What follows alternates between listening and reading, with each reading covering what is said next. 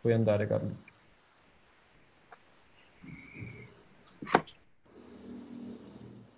Buon pomeriggio a tutti voi, sono Carlo Santoli, direttore della rivista Sinestesie e di Sinestesia Online, docente di letteratura italiana contemporanea presso l'Università degli Studi di Salerno. Buon pomeriggio dal salotto letterario dell'Associazione Culturale Internazionale Edizioni Sinestesie, di cui sono presidente, per la presentazione del libro Gli esordi del violoncello a Napoli e in Europa,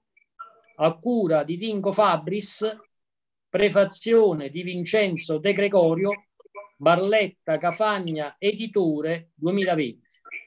promosso e organizzato anche in collaborazione con la Fondazione Carlo Gesualdo e l'Istituto Italiano di Studi Gesualdiani. Porgo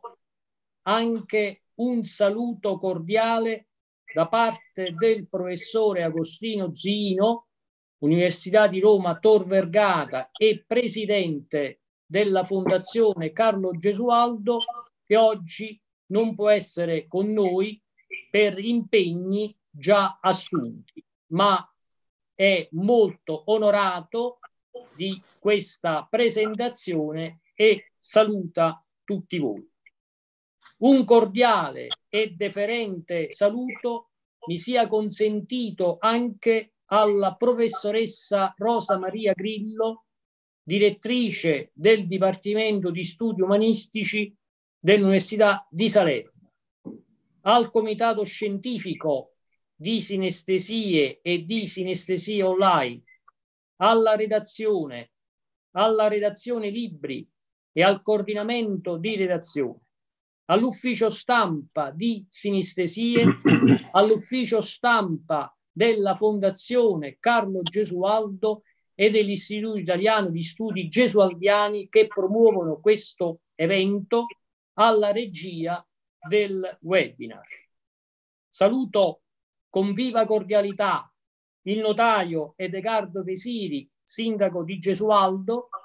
il professor Dingo Fabris, Università della Basilicata e direttore scientifico dell'Istituto Italiano di Studi Gesualdiani, l'architetto Raffaele Fulchini, presidente dell'Istituto Italiano di Studi Gesualdiani, il professor Agostino Zino, Università di Roma, Tor Vergata e presidente della Fondazione Carlo Gesualdo, il professor Orazio Longo, il professor Paolino Marotta, presidente dell'Andis, Associazione Nazionale Dirigenti Scolastici per l'Italia, il dottor Flavio Petroccione, Ministero dei Beni Ambientali, Culturali e Territoriali discuteranno di questo interessante volume i professori Mark Van Schiwick, violoncellista barocco e docente all'Università dell'Oregon, Stati Uniti. Vi è stata anche la partecipazione del Monsignor Vincenzo De Gregorio, preside del Pontificio Istituto di Musica Sacra di Roma Vaticano. Marco Ceccato, violoncellista barocco, nonché docente all'Università di Oporto, Guido Olivieri, musicologo docente all'Università del Texas a Austin, Stati Uniti, Matteo Malagoli, violista da gamba e dottore di ricerca al Pontificio Istituto di Musica Sacra di Roma, Vaticano, Luigi Sisto, Conservatorio Nicolò Piccini di Bari. Coordinerà scientificamente i lavori di questo pomeriggio il professor Dingo Fabris, seguirà un dibattito con gli autori e tutti i partecipanti. Un ringraziamento giunga all'editore di questo volume, che è l'editore Cafagna, al violoncellista barocco Guillermo Turina da Barcellona, al maestro Antonio Florio, Dipartimento di Musica Antica del Conservatorio San Pietro a Maiella di Napoli e direttore della rassegna Sicut Sagitte di Napoli, ma anche un caro saluto al professor Angelo Meriani, lingua letteratura greca dell'Università di Studi di Salerno, che ringrazio per la sua partecipazione, è un onore averlo qui con tutti quanti noi e che parteciperà non soltanto ai lavori ma anche al dibattito per la presentazione di questo libro. Al professor Dingo Fabri cedo ora la parola. Grazie.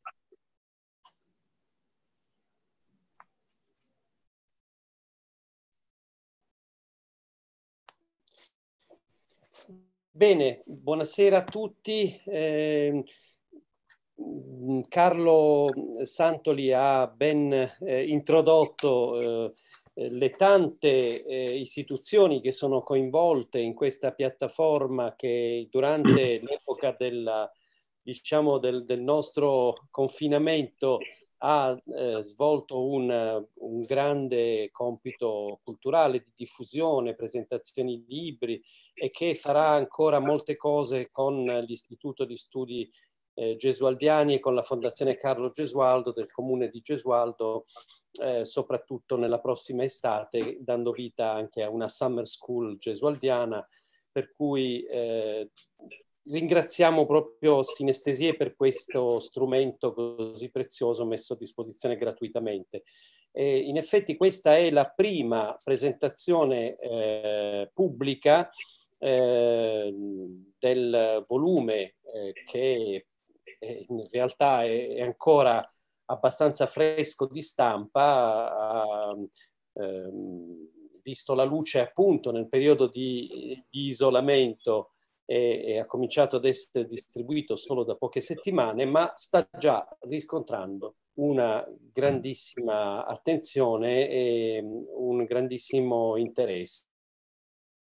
a livello internazionale. E, ehm, prima di andare a vedere quali sono i contributi specifici che rendono questo volume eh, così importante eh, e, e, così attrattivo, vorrei chiedere al maestro Antonio Florio, che eh, è un amico personale e eh, una persona che io stimo e ammiro tantissimo da oltre 45 eh, anni, ehm, con un lavoro meraviglioso da lui condotto eh, eh, fin da quando era ragazzino sulla musica napoletana antica e che ha avuto l'idea all'interno del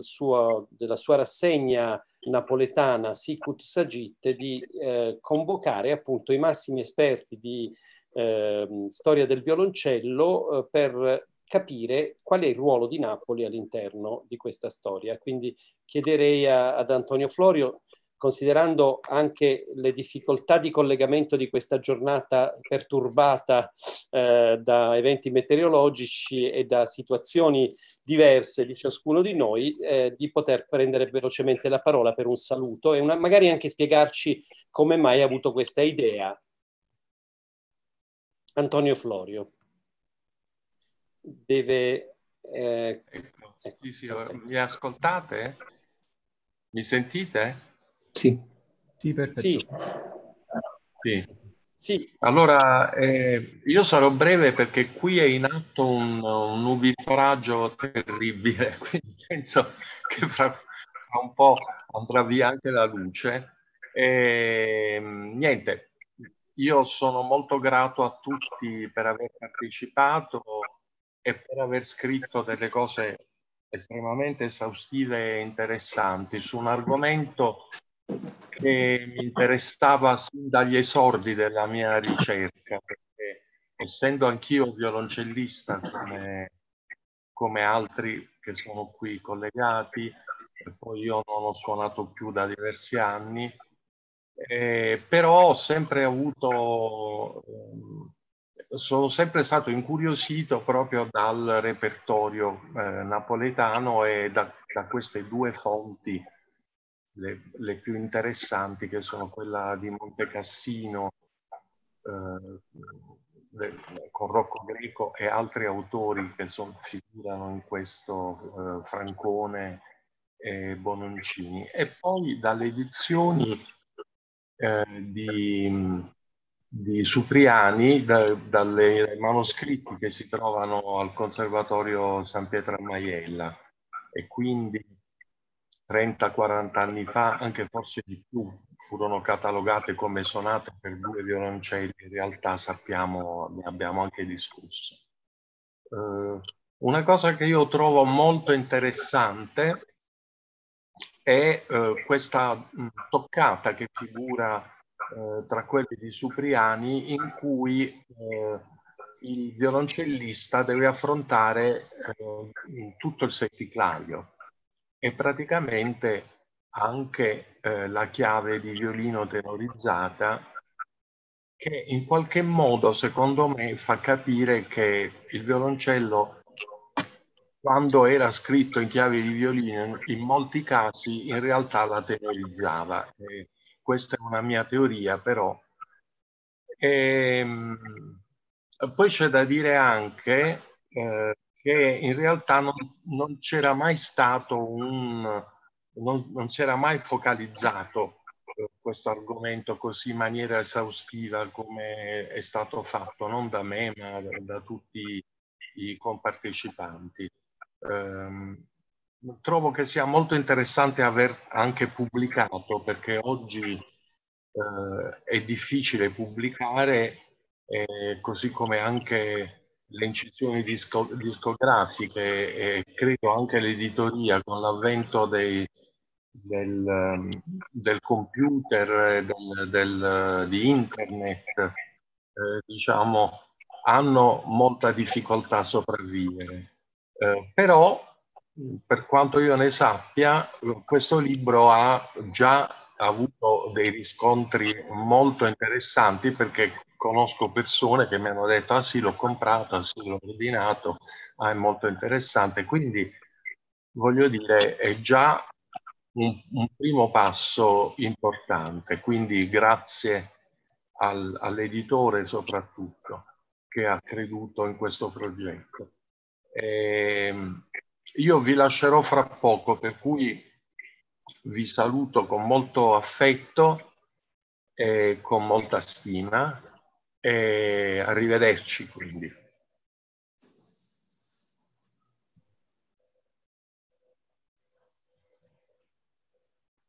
Bene, prima di, eh,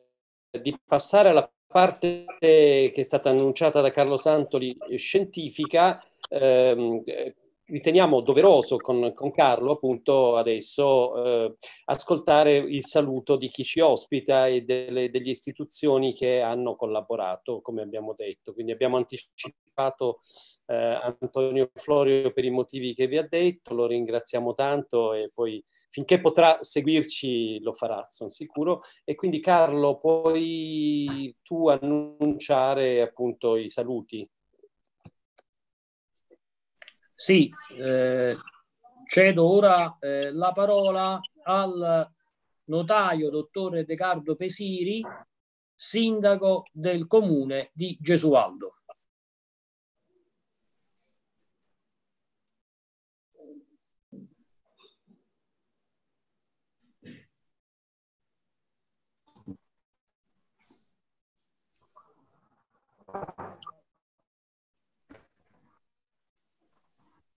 Allora,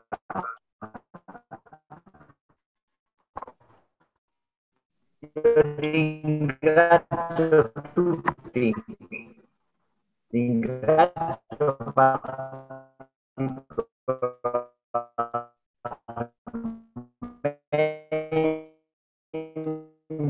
amico per l'impegno, accanto, lo ringrazio di cuore, ringrazio la vostra parte cui siete testimoni. Va bene, grazie. C'è un problema tecnico, ovviamente, sono problemi di connessione, quindi cedo anche la parola all'architetto Raffaele Buffini, Fucchi, presidente dell'Istituto Italiano di Studi Italiani.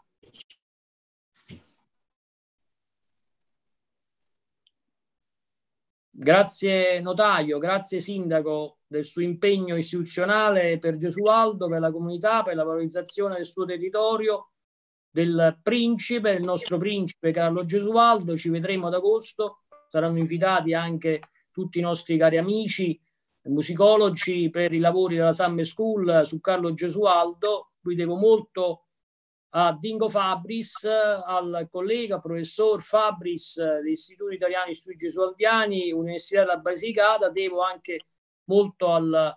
professor Agostino Zeino, presidente della Fondazione Carlo Gesualdo, ai musicologi e per la celebrazione di questa opera omnia su Carlo Gesualdo, cui ha dato un contributo significativo, importante la Fondazione, il Comune di Gesualdo con il suo sindaco, notaio Riccardo Pesiri, e poi anche il contributo per la cultura che l'Istituto Italiano di Studi Gesualdiani sta approfondendo adesso appunto in questa, anche in questa fase emergenziale, l'ho fatto già precedentemente con diverse iniziative importanti, la prima edizione della Summer School dedicata a Carlo Gesualdo, ora la seconda edizione che sarà su piattaforma Zoom dell'associazione Sinestesie, quindi ringrazio un po' tutti i membri della fondazione, il consiglio amministrativo degli studi Anni Studi Gesualdiani, il suo presidente, l'architetto Raffaele Fulchini, ricedo la parola al professor Dingo Fabris per il coordinamento scientifico dei lavori. Grazie. Bene, eh, entriamo allora nel vivo di questa presentazione e per entrare nel vivo della presentazione di un libro... Eh, eh, senti, si sente, si sente troppo male, mi spiace. Eh, eh, scusate, io... Oh, scusate. Cinco, cinco. Io, sì, ci sono, sono Raffaele Fucchi, però mi hanno stoppato il video. Eh, non importa, dai Raffaele, facciamo no, un saluto. Vabbè, volevo solo dare un saluto, visto che il sindaco, scusi, pure senza telecamera Visto che il sindaco già l'ha fatto, io mi unisco ai saluti del sindaco e saluto tutti gli intervenuti e le istituzioni che rappresentano. Mi fa molto piacere che Gesualdo abbia questa nuova diciamo, era di, di, di, cultura che possa veramente assurgere ad un, ad un titolo, quello di, di capitale della musica polifonica gesualdiana e non solo e quindi mi fa piacere che c'è un nutrito gruppo di esperti, di maestri e di professori che fanno questo e lavorano per questo. Eh, do un in bocca al lupo eh, a tutti quanti e, e veramente questo lavoro eh, produca degli effetti eh, particolari, in particolar modo per la musica, per tutto lo scenario musicale nazionale. Io il buon, uh, vi auguro un buon lavoro e ascolto con piacere la vostra discussione. Grazie. Siamo noi che ringraziamo Raffaele Fulchini che dopo il sindaco Edgardo Pesiri ha rappresentato la cittadina di Gesualdo che sta per annunciare dei piccoli miracoli eh, in un'Italia così complicata succederanno anche cose molto belle, per esempio la, il completamento del restauro del castello del principe Carlo Gesualdo e la possibilità di fare tante iniziative musicali. Ma adesso andiamo a parlare di uno strumento che eh, al tempo di Carlo Gesualdo non era stato neanche eh, minimamente pensato come uno strumento eh, importante, perché la concezione musicale era molto molto eh, distante da quella che poi avrebbe giustificato l'origine, eh, l'esordio del violoncello. E per cominciare a parlare di questo volume, eh, guardiamo il volume naturalmente, eh, anche per apprezzare la, ehm, lo sforzo grafico di questo editore coraggioso di una città della Puglia, quindi del sud, Barletta, eh, Vincenzo Cafagna, Cafagna Editore, ha creato coraggiosamente una collana musicale, pensate un po' al sud, eh, che mi ha voluto affidare, che si chiama Le Vie dei Suoni e che ha un comitato scientifico però formato da, quattro, da 14 docenti di università di tutto il mondo. Quindi eh, è una struttura assolutamente comparabile a quella delle grandi case editrici di musica che eh, compiono il loro lavoro eh, scientificamente. E infatti questo è un contributo scientifico ineccepibile. Eh, nel descrivere eh, le varie parti che lo compongono, eh, non c'è niente di meglio che sentire brevemente i singoli autori. Quindi adesso ci sarà una carrellata di interventi dei singoli autori delle varie parti che sono, formano una specie di viaggio alla scoperta della vera natura di questo strumento e i suoi esordi, appunto, gli esordi del violoncello a Napoli in Europa tra 6 e 700, il titolo completo, eh, sarebbe stato con noi con grande piacere Vincenzo De Gregorio. Monsignor De Gregorio è il preside del Pontificio Istituto di Musica Sacra di Roma, ma è anche tante altre cose. È un uh, vero uh, apostolo della musica sacra, possiamo dire, dell'importanza della musica nella nostra società, anche in seno al Pontificio Consiglio della Cultura e mi ha pregato di salutare tutti, così come ha scritto eh, la, nella prefazione, quella giornata da lui presieduta a Napoli nel 2018 è stata una giornata di grandi scoperte che rafforzano sempre di più l'idea che bisogna andare oltre i luoghi comuni e le cose che sembrano acquisite. Lui però adesso sta facendo il suo lavoro di prete, cioè alle 17 aveva messa nell'isola di Capri, dove ogni sabato deve celebrare messa e non, eh, quindi penso che tutti noi lo possiamo facilmente giustificare, sarà con noi in spirito ancora più evidente. Eh, andiamo al primo eh, contributo. Il primo contributo di un volume di quasi 200 pagine, pensate che occupa eh, da solo eh, il 70, no, scusate, eh, occupa da solo 75 pagine su quasi 200. Quindi pensate quanto è eh,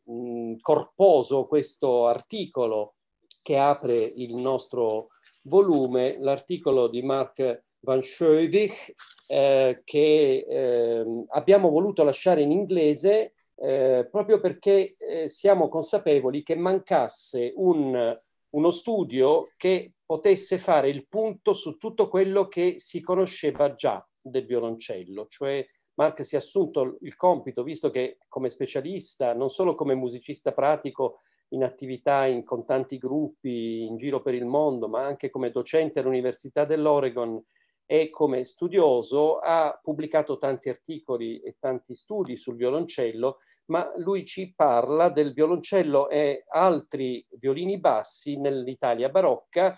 partendo da una domanda, che cos'è il violoncello? What is the violoncello? E poi esamina una serie di eh, eh, di punti focali per capire l'organologia, per capire l'iconografia, per capire la notazione, per capire le fonti musicali che esistono, i documenti, eh, eccetera, eccetera, e non soltanto naturalmente di un violoncello italiano, il, suo esame è a 360 gradi, ma vedremo dalle parole che spero Mark ci potrà adesso riportare, che eh, non si esime dal pungere alcune questioni che erano state un po' esagerate nel passato e quindi senza peli sulla lingua dice anche la sua su alcune cose che erano state pro proposte un po' troppo senza ragioni storiche negli ultimi anni sull'uso di certi violoncelli nella prassi esecutiva barocca. Quindi Mark, se riesci a prendere la parola, eh, ci farebbe un grande piacere. Va benissimo, grazie Dinko, buonasera o buongiorno a tutti. Eh, voglio innanzitutto ringraziare Dinko Fabris per aver curato il volume, perché so per esperienza che è un lavorone e che insomma eh, richiede un, molta pazienza e, e molta, eh, molto lavoro in, in, dettaglio. Quindi grazie Dinko per aver eh, eh, deciso di, di, di, pubblicare un volume all'esito di questa uh, bellissima giornata del, dell'inizio di ottobre 2018. Ecco, allora, come eh, diceva, um, appunto il mio articolo fa una, una un'ottantina di pagine, penso, e uh, quello che ho cercato di fare è di dare un po' un'idea generica um, del, del, violoncello, dei bassi di violino piuttosto, uh, uh, in, soprattutto in Italia, però per necessità sono dovuto andare anche un pochino fuori perché um, il modo in cui uh, ho cercato di, di, ricostruire un po' questa, questa storia del, del nostro strumento è appunto di partire dalla pratica di oggi, praticamente che cosa è il, il violoncello barocco oggi. E ponendo questa domanda, um, è vero che questo violoncello che suoniamo oggi uh, potrebbe magari non essere proprio lo strumento che si era suonato nel periodo barocco. Questa era un po' la domanda di base perché ovviamente il violoncello come eh, lo abbiamo suonato diciamo dagli anni 60 in poi, parlandone come di violoncello barocco, è basato su eh, praticamente lo strumento moderno in, al quale vengono fatte alcune modifiche, corde di budello, eh, ponticello diverso, altro arco, eh, altro um, uh, altre costruzioni interne senza puntale, eccetera, eccetera. Però tutti questi violoncelli barocchi odierni sono più o meno uguali, nel senso che hanno le più o meno stesse misure e quando guardiamo l'iconografia vediamo una cosa molto diversa. Allora, i primi violoncellisti barocchi della seconda metà del XX secolo ovviamente hanno cominciato a cercare eh, le fonti, non solo per uh, capire la storia dello strumento, eccetera, ma soprattutto anche per uh, cominciare a studiare a partire da metodi uh, del, del, periodo barocco. Allora, il primo metodo che abbiamo per violoncello è quel libro di Michel Corret che fu pubblicato nel 1740. Ovviamente a questo momento, oh, 1741 scusi, nel, alla quasi metà del Settecento ovviamente siamo già fuori del periodo barocco. Quindi ho organizzato uh, questo mio intervento che cerca di sintetizzare senza purtroppo poter entrare in tutti i particolari um, lo sviluppo appunto del, del, dei bassi, dei vari bassi di violino eh, nel periodo eh, barocco, quindi precedente praticamente a Michel Coet. Purtroppo, come dicevo, non abbiamo uh, un metodo uh, per, per, o che ci insegna a, a suonare lo strumento prima del, di questo periodo post-barocco e poi a Parigi. Quindi ho organizzato l'articolo o il, capitolo, diciamo, um, in, in, questo modo vado un po' indietro, cioè parto da Coret, ovviamente perché è la nostra prima fonte, e torno indietro uh, parlando un po' del primo uh, Settecento e poi passo al Seicento e finisco uh, con una parte che mette un, o rimette un po' in questione eh, tutta la storia del cosiddetto violoncello da spalla, al quale ho dedicato la parte finale praticamente del, dell'articolo. Quindi parto dal, dal, della méthode théorique et pratique pour apprendre en peu de temps et dans sa perfection le violoncelle. È interessante perché ovviamente con un titolo così uh, Michel Corret già annuncia uh, il fatto che il, il, il, trattato è scritto per i dilettanti. Uh, ovviamente i professionisti non andavano a studiare da un metodo uh, stampato, ma studiavano con, con un maestro, con, che sia nelle, nelle scuole um, di, di, di, cattedrali o di chiese oppure con, uh, nei, nei, conservatori napoletani o altre scuole di musica. Insomma. Quindi eh, già questo um, ci, ci, informa di, uh, di, stare un po' attenti oggi da violoncellisti professionisti di andare a ispirarsi praticamente di un, un, un trattato che è stato con, concepito per dilettanti di musica. Però Corret da multistrumentalista eh, o strumentista che ha eh, pubblicato dei metodi per praticamente tutti gli strumenti del, della sua epoca. Eh, per me, o la, almeno la mia lettura eh, del, del, metodo di Corret, eh, per me Corret ha praticamente presentato in questo metodo una specie di manifesto per il violoncello che chiamerei il violoncello classico, che è appunto il nostro violoncello moderno o il violoncello che chiamiamo oggi il violoncello barocco. Perché eh, ci sono molti, molte indicazioni anche a livello retorico nel, nel, metodo che veramente presenta un certo numero di pratiche che adesso abbiamo, abbiamo ripreso ovviamente da una sessantina d'anni e che eh, annunciano veramente cose nuove. Uno strumento tenuto in un certo modo, con un arco tenuto in certo modo, con un tipo di, di teggiatura che è ovviamente eh, molto vicino a quella moderna. Quindi le mie domande erano da dove viene tutto questo? E è vero che prima di Corette il violoncello era come lo, lo racconta Corette, invece eh, informandomi sia dai documenti, dai trattati, dall'iconografia,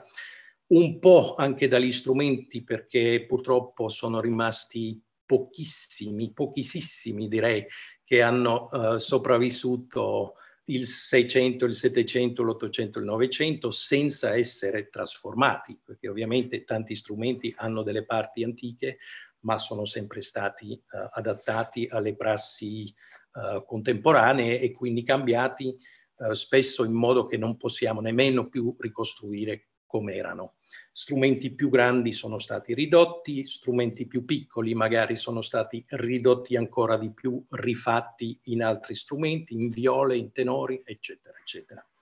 Quindi um, andando a, a, a, cercare un po' tutte, da, da, da, tutti questi punti di vista iconografici, uh, teorici e nel repertorio, si vede che uh, già o ancora nella prima metà del Settecento um, abbiamo praticamente due gruppi nei bassi di, eh, di, violino o di viola, se si vuole, perché eh, abbiamo gli strumenti che all'epoca venivano chiamati violoni e che sono piuttosto di grande, eh, di grande taglia e che sono comunque più grandi del violoncello odierno.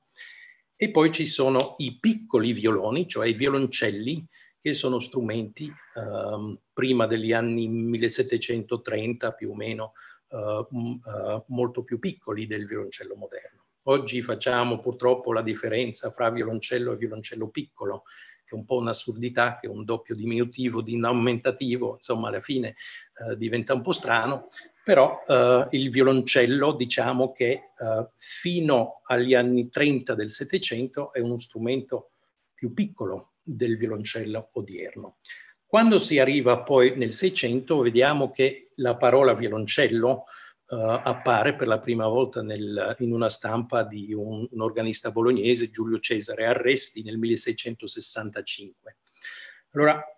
non è il caso di fare la storia di una parola, facciamo piuttosto la storia di uno strumento, perché eh, ovviamente in ogni regione italiana e anche fuori dall'Italia ognuno chiamava gli strumenti a modo suo e quindi eh, sicuramente non c'è nessuna standardizzazione nel, negli appellativi.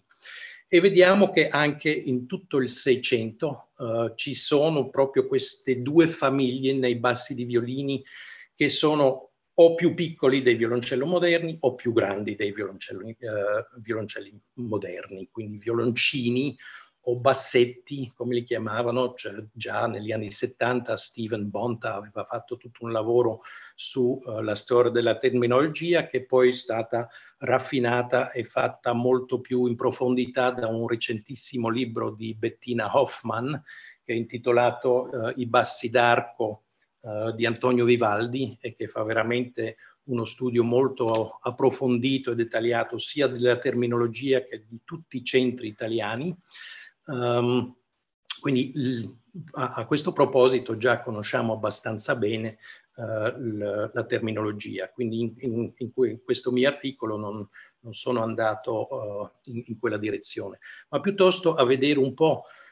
quali sono le, le modalità, eh, le differenze fra questi strumenti e vediamo che spesso um, i bassi in genere della famiglia dei violini che emergono già nel primo uh, 500 e che, hanno, uh, che sono sempre uh, stati praticamente eh, gli strumenti dei musicisti professionisti più che altro, quindi suonati in chiesa, suonate, suonati fuori, suonati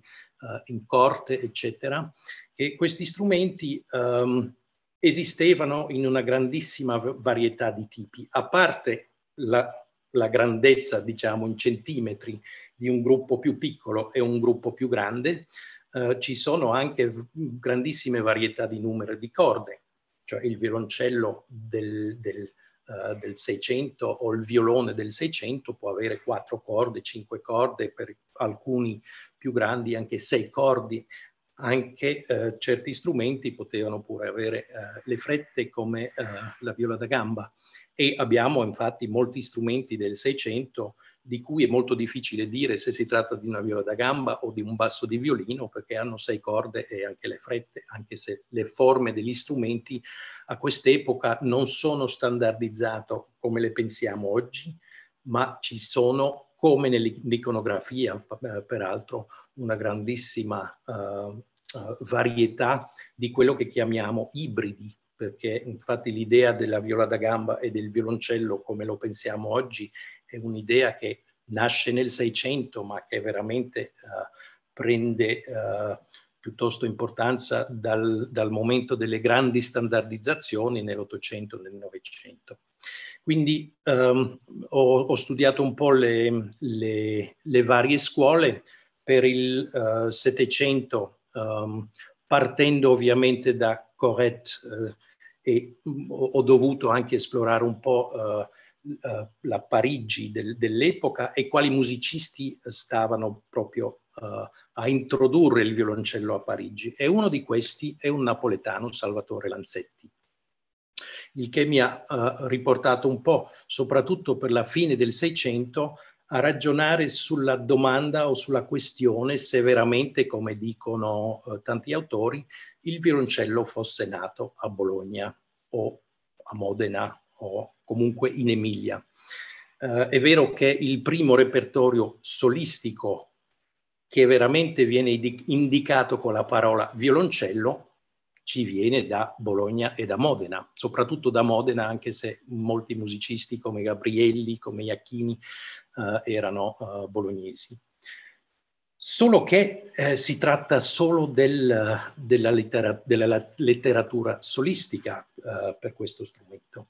eh, vediamo che eh, a Bologna e a Modena c'è ancora questa grandissima varietà di tipi di strumenti, strumenti più piccoli, strumenti più grandi, accordati in vari modi, eh, con quattro o cinque corde, eh, suonati anche Uh, in, in, vari modi e ci tornerò quando parlerò fra un attimo del violoncello da spalla, abbiamo anche abbastanza iconografia che rappresenta violoncellisti che suonano strumenti rovesciati proprio uh, col, uh, tenuti in modo praticamente orizzontale, che uh, si chiama tenuto da spalla. Però nell'iconografia vediamo solo strumenti molto grandi, non i piccoli eh, strumenti che ven vengono usati eh, nel XXI secolo. Comunque a Bologna quindi abbiamo e a Modena abbiamo tutti questi strumenti di, di, varie grandezze accordati in vari modi e c'è ancora uh, questa, questa uh, tipica varietà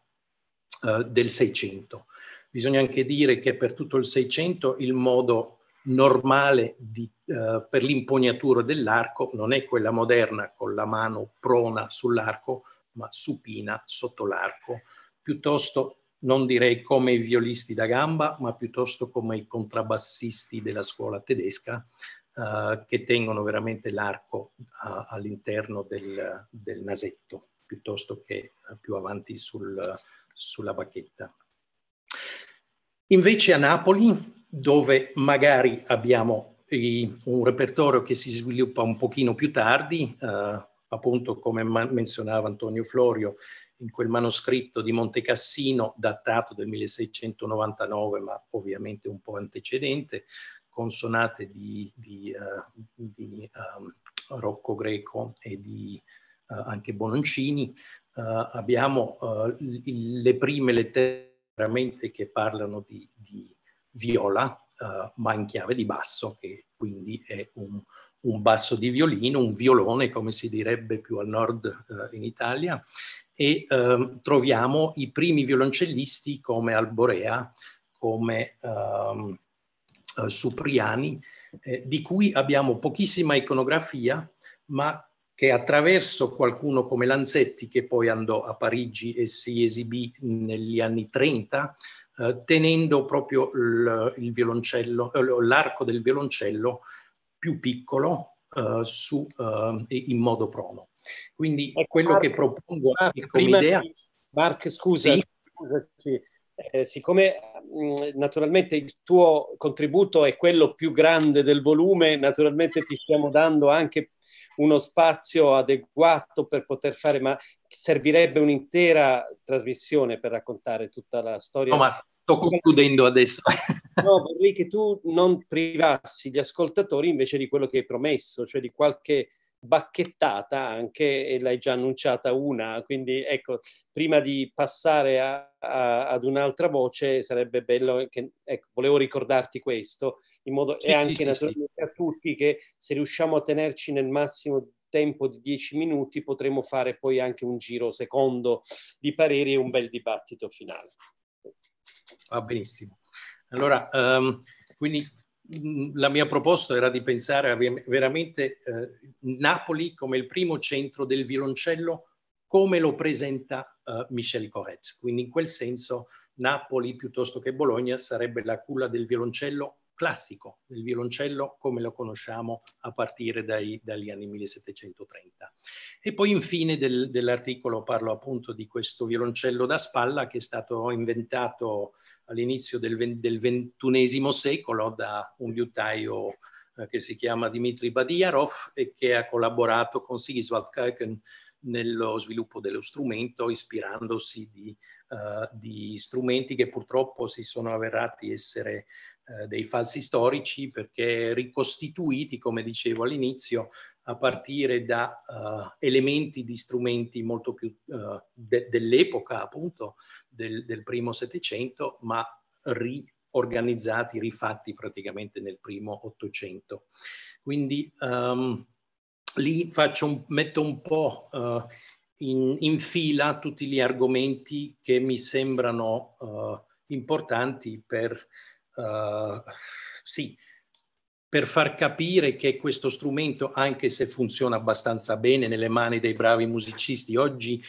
non ha senso nel, nel, nel, nell'ambito della prassi esecutiva della musica antica su strumenti eh, storici, eccetera, perché eh, un, uno degli argomenti, eh, a parte il fatto che è basato su eh, dei falsi storici, e anche che per farlo funzionare, perché è così piccolo, appena più grande di una viola, è un po' più profondo, lo strumento di, di uh, misure è uguale a uno strumento del tardo 500 che uh, si trova alla, alla Domkirche a Freiberg e che è veramente un contralto, che se ci mettiamo delle corde di budello puro, uh, ovviamente eh, scendere al di sotto della, della cordatura di una viola moderna praticamente è uh, impossibile perché la lunghezza vibrante delle corde non concederebbe di andare uh, più basso. Invece questo strumento che adesso è stato reinventato e chiamato violoncello da spalla, con pochi argomenti storici purtroppo, e, um, necessita l'uso di una corda doppia filata per farlo funzionare allo stesso diapason del violoncello. E purtroppo la doppia filata uh, è una cosa di cui abbiamo le primissime menzioni alla fine degli anni 60 del 1700. Quindi comunque, uh, anche se magari anticipiamo uh, l'uso di questa corda doppia filata anche al 1750, è uno strumento che è ehm, esistito per forza perché abbiamo degli strumenti nei musei, per esempio a Norimberga, a Berlino, eccetera, eh, ma come fosse accordato, quello è il, il, problema grande. Comunque, per utilizzarlo per fare i concerti di Vivaldi, le suite per violoncello di Bach, eh, lì siamo completamente nell'ambito eh, non storico del, della, della, musica antica, perché eh, è impossibile che lo strumento eh, venisse accordato proprio all'ottava del violoncello avendo queste misure così minime. Ecco, per, uh, mi, mi, fermo qui, uh, comunque avremo uh, possibilità, immagino, di parlarne di più nel, nel dibattito. E ti ringraziamo di, di, cuore perché si è vista la passione con cui eh, questa storia è stata raccontata e anche fa capire i tanti misteri che rimangono naturalmente, le tante prospettive per la ricerca. Ricordo che eh, Mark è anche l'autore dei testi che accompagnano questo libro disco in più dischi, eh, molto, eh, molto utile per sempre per un avvicinamento, si chiama Cello Stories, eh, in francese, in realtà Une histoire du violoncelle, eh, che parla appunto delle, delle cose che eh, in qualche modo ci sono state riassunte, facendo anche sentire una grande antologia di musiche. Eh, perché ho usato il disco? Perché uso anche un disco per introdurre il secondo contributore eh, che è Marco Ceccato e che eh, ci parla di Roma. Eh, infatti eh, Marco, eh, che adesso prenderà la parola, eh, tra l'altro in qualche modo l'abbiamo voluto anticipare sia nel libro che in questa discussione, eh, proprio perché eh, nelle storie che noi conoscevamo già c'erano due punti fermi c'era Modena-Bologna come origine florida di questo strumento e dei suoi primi virtuosi e poi immediatamente dopo Roma come se non ci fossero altre diramazioni precedenti. E quindi abbiamo voluto seguire questo itinerario ehm, e in qualche modo però eh, ci sarà già molto chiaro dalla, da quello che ha anticipato eh, Matt Van Schoeving che eh, la grande eh, novità che viene fuori da Napoli è l'avere una musica virtuosa che crea eh, immediatamente una scuola, cioè il violoncello entra eh, nei conservatori, si crea una scuola e, e, poi i grandi virtuosi napoletani si diffonderanno dovunque. Lui ha fatto il caso estremo di Lanzetti, eh, partendo però appunto da Supriani eh, e Alborea, e, e non a caso tutto questo avviene a Roma dove pure si ritrovano eh, altri virtuosi provenienti dall'Emilia Romagna di oggi, altri virtuosi che poi andranno a Londra, che andranno a Parigi e di questa storia eh, ci racconta eh, molto bene Marco Ceccato che appunto è tra l'altro il direttore di un gruppo musicale che si chiama Accademia Ottoboni e che ha dedicato questo disco molto molto ben riuscito al violoncello del cardinale, appunto Ottoboni, con, come grande mecenate di virtuosi eh, del violoncello. Ricordiamo anche che a Roma eh, abbiamo una incredibile quantità di disegni di violoncellisti, quindi ci aiuta molto anche per l'iconografia, grazie alla presenza di questo straordinario disegnatore, incisore, pittore che è Pierleone Ghezzi,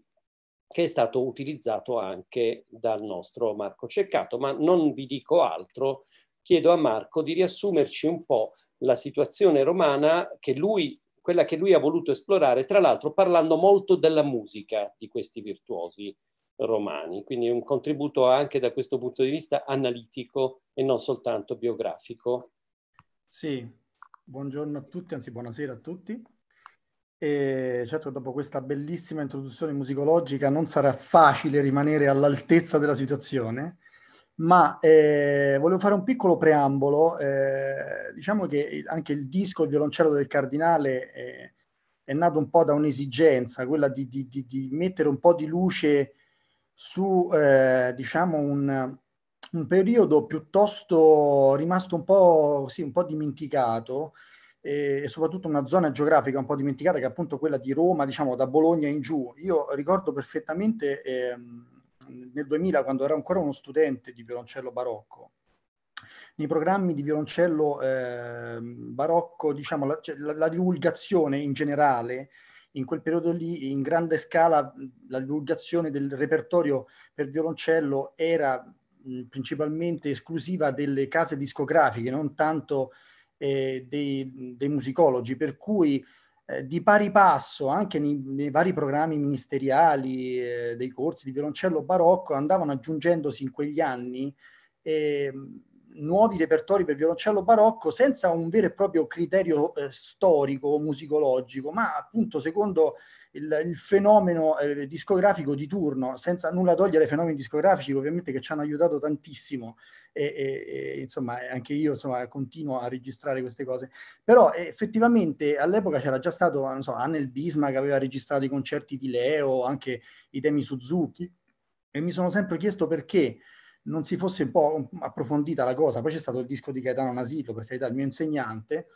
e, ma di Roma non, non, se ne parlava, di Roma non se ne parlava, io continuavo a suonare nelle mie prime esperienze qui a Roma i concerti grossi di Corelli, eh, era un continuo questi concerti grossi di Corelli, il maestro Corelli e i suoi violoncellisti e i violoncellisti di Corelli e questi virtuosi violoncellisti di Corelli, però chi sono, dove stanno queste sonate, mai sentite. Per cui eh, l'esig- l'esigenza è nata proprio da questo, insomma, eh, mi sono messo lì, ho cercato di, com- di, convincere il discografico, non fu facile, devo dire, non è stata un'impresa facile, tant'è vero che la prima volta eh, Zigzag, eh, adesso è Auter, Zigzag non esiste più, la casa discografica francese mi negò la possibilità di fare questo disco e mi convinse a fare un, l'ennesimo disco di sonate di Vivaldi, per carità, è stata una bellissima esperienza, però come sapete tutti, Vivaldi, Geminiani, Boccherini, questo è un repertorio violoncellistico che già eh, dagli anni Ottanta in poi i grandi solisti come eh, Christoph Kwan, Anner Bisma e lo stesso Bruno Coxet hanno sponsorizzato e hanno fatto conoscere in tutto il mondo. Però mancava qualcosa, io me ne rendevo conto, per cui quando ho potuto, quando ho avuto un po' il coltello dalla parte del manico, ho, ho detto alla casa discografica facciamo questo disco e ho iniziato a cercare queste sonate, eh, queste sonate di questi violoncellisti, i, i, quelli che io considero i violoncellisti di Corelli, insomma i violoncellisti che eh, hanno, potuto, eh, hanno potuto conoscere il grande maestro Corelli, hanno potuto suonare nella sua orchestra e, e, che quindi hanno gravitato intorno a questa grande figura e a diverse grandi figure come Corelli, lo stesso Handel, Scarlatti e, e tanti altri. Niente, il, la, cosa, la, cosa, interessante di questo periodo storico, eh, di questo periodo magico che io considero, questo ventennio magico che va più o meno dal, dal, dagli anni 90 del 600 fino ai primi dieci anni del 700 a Roma, questo ventennio magico in effetti è stato un ventennio che ha visto ehm, l'arrivo a Roma di grandissimi compositori, una, una, circostanza per cui grandissimi compositori come Handel, Scarlatti e Corelli eh, gravitare in, in, questa città. Eh, questo ovviamente grazie all'enorme eh, potenziale economico dei, eh, dei cardinali eh, romani, soprattutto il cardinale Panfili, che poi fu da, eh, in qualche maniera musa ispiratrice per, per il cardinale Ottoboni, perché tutto nasce dal, dalla bontà del cardinale Panfili, eh, che poi successivamente si trasferisce a Bologna e il cardinale Ottoboni acquisisce tutti gli artisti del cardinale Panfili. E tra questi, eh, tra questi artisti, appunto tra questi musicisti, eh, ci furono moltissimi violoncellisti. arrivarono un po', ehm, sicuramente molti arrivarono dall'area bolognese, e sicuramente c'è stata un'influenza anche da parte del, dei musicisti napoletani, perché sappiamo che Napoli e Roma erano tutto sommato abbastanza vicine. Corelli eh, andò anche a Napoli a suonare eh, nell'orchestra di Scarlatti, e quindi ci furono dei, dei contatti, diciamo. E, il, diciamo, indubbiamente indubbiamente i, questi, questi, questi, violoncellisti arrivando a Roma trovavano, eh, trovavano nella figura di Colerli una, una musa ispiratrice, per cui eh, a livello stilistico troviamo proprio delle, delle, delle, assonanze incredibili. Io quando mi sono trovato per la prima volta di fronte eh, una sonata di Perroni non potevo credere ai miei occhi perché stavo suonando in realtà una sonata di Corelli sul violoncello, cosa che appunto mi, mi, ero sempre chiesto, ma perché i violinisti possono suonare una sonata di Corelli e io no? Perché? Ecco perché, perché c'erano, ma erano nascoste negli archivi, ovviamente eh, queste sonate di Perroni si trovano adesso nel, si tro possono trovarsi sia a Vicentide che a Milano, eh, presso la Biblioteca del Conservatorio di Milano. E, ehm, mh, oltre a Perroni eh, ci fu un altro bravissimo compositore violoncellista, Nicola Francesco Haim. Eh, anche lui eh, ci ha lasciato due sonate molto belle, anche queste corelliane e molto ispirate. Era un bravissimo compositore, Nicola Francesco Haim, e, mh, sapeva fare un po' tutto e rima rimane, diciamo, nella, più famoso, diciamo, eh, il suo nome ci ritorna soprattutto perché lui fu il eh, librettista del Giulio Cesare di Handel, per cui in una seconda parte della sua vita, quella londinese appunto, eh, diventò in qualche maniera un punto di riferimento importante per la diffusione dell'opera italiana in Inghilterra. E questa cosa, diciamo, del violoncellista che da Roma parte, va a Londra e aiuta in qualche maniera la diffusione dell'opera italiana eh, in Inghilterra, la ritroviamo anche in un altro importantissimo virtuoso romano dell'epoca, che era appunto Pippo del violoncello, ovvero Filippo Amadei. E infatti Filippo Amadei, eh, diciamo che eh, succederà appunto eh, come primo violoncello nell'orchestra di Arcangelo Corelli a eh, Giovanni Lorenzo Lulier che nel 1700 viene a mancare. E, e quindi succederà come primo violoncello e porterà diciamo eh, tutto il suo il, tutta quanto il suo virtuosismo tecnico eh, a Londra al servizio di Handel e, e non, è, non, è, un caso che in molte aree, molte aree handeliane ritroviamo spesso una parte solistica del violoncello, come nella famosa area dell'Alcina, eh, non so se ce l'avete presente, c'è un'area di Morgana nell'Alcina dove eh, viene appunto dato al violoncello questa, questa parte solistica drammatica e bellissima e che io immagino, posso immaginare che eh, sia possibile che fosse stata proprio scritta per eh, Filippo Amadei. Ehm, questo succedeva appunto nel, tu, tutto questo succedeva in questo ventennio e, intorno al 1710 con la, diciamo, la, Corelli si ritira, dal, diciamo, dalla, si ritira dal, dalle esecuzioni pubbliche, era ormai molto vecchio per cui non suonava più. Handel parte e va a Londra e questo eh, comporta diciamo, un, un, cambio anche, un, motivo in meno per alcuni eh, musicisti eh, presenti a Roma in quel momento di, eh, di rimanere a Roma. E partono al, insieme ad Endel eh, Filippo Amadei e, se non ricordo male Nicola Francesco Aime era già partito qualche anno prima e si trasferiscono a Londra al servizio appunto della, del, del teatro reale penso. Mi sembra di ricordare così Niente, tutto qua, diciamo, eh, si chiude un'epoca e ovviamente questi, il cardinale Ottoboni, che era stato eh, ovviamente il mecenate che aveva finanziato eh, questi musicisti, non rimane senza violoncellista, ma chiede appunto a un Corelli anziano, chiede eh, sostanzialmente chi posso chiamare, visto che è partito il grande virtuoso, e verrà chiamato da Bologna Gaetano Boni, che tra l'altro scrive una pagina bellissima del violoncello, scrive 12 sonate, eh, la cui opera eh, a stampa rappresenta una delle,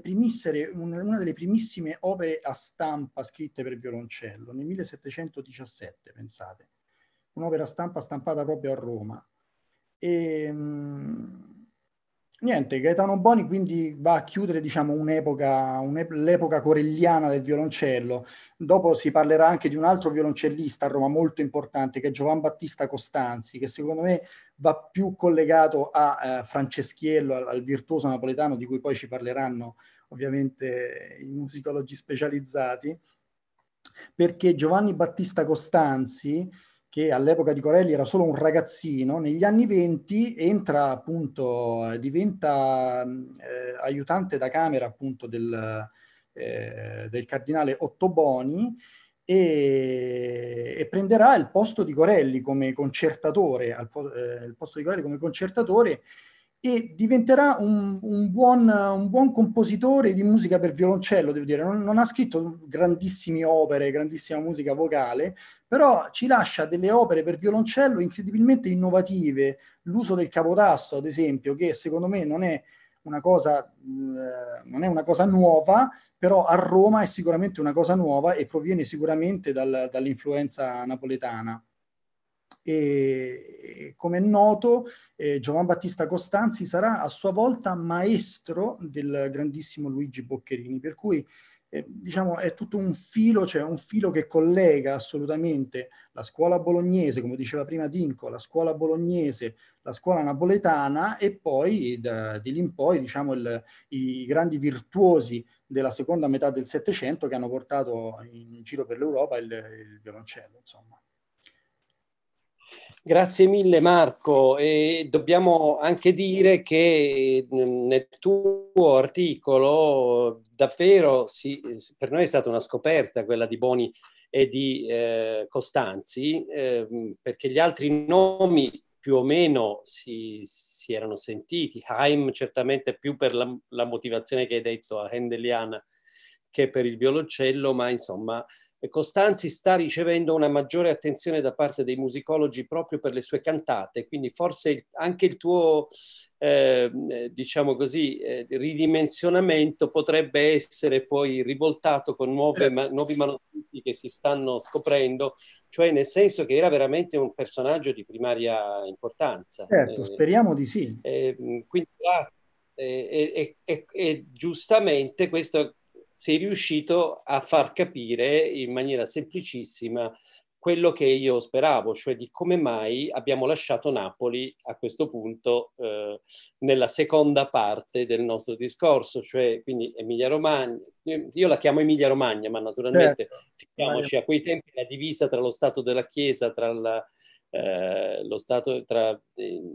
lo Stato Veneto, insomma è, è, un po' complicata la storia e la, geografia. E, eh, e, e, Roma, però Napoli adesso eh, cerchiamo di far capire con i prossimi interventi eh, che cosa veramente di nuovo abbiamo scoperto tutti. Pregherei la regia, come si dice in questo momento, di sinestesie e, e attraverso il professor Santoli, visto che eh, stiamo vedendo che su Facebook c'è un buon numero di persone che sta seguendo con interesse questo dibattito, se ci fossero dei commenti o anche invogliando a, a lasciare commenti, eh, soprattutto se ci sono curiosità, domande, per l'ultimissima parte del nostro discorso, di farcene poi eh, pervenire in modo tale che si possa eventualmente dare anche questo spazio più pubblico. E, eh, siamo arrivati quindi a Napoli e abbiamo eh, in Guido Olivieri il nostro faro, perché eh, Guido Olivieri che da, da anni rappresenta la, la, la, ricerca musicologica più avanzata eh, italiana e napoletana in, negli Stati Uniti del Sud, in Texas, eh, abbiamo eh, tra l'altro Guido ha iniziato occupandosi moltissimo di, di, musica strumentale in generale, di violino e quindi adesso il fatto quasi naturale che si passi agli strumenti bassi della famiglia del violino significa riuscire ad avere una visione veramente più, più ampia e sistematica. Ci ha già dato tante eh, eh, anteprime di questi, di questi suoi studi, lavori eh, con articoli, con pubblicazioni. Eh, eh, per esempio, fin dal 2009 abbiamo cominciato a familiarizzarci meglio col manoscritto di cui poi sentiremo ancora. Abbiamo già nominato due o tre volte, è il, l'eroe, manoscritto eroe del nostro, della nostra storia, il manoscritto di Monte Cassino di Rocco Greco e, e, altri, e i personaggi altri che sono in quel manoscritto poi sono stati oggetto di singoli studi e anche di edizioni, persino le due nuove sonate di Bononcini sono un contributo veramente fenomenale perché l'altra sonata, ma poi insomma, non entriamo troppo in, in, in,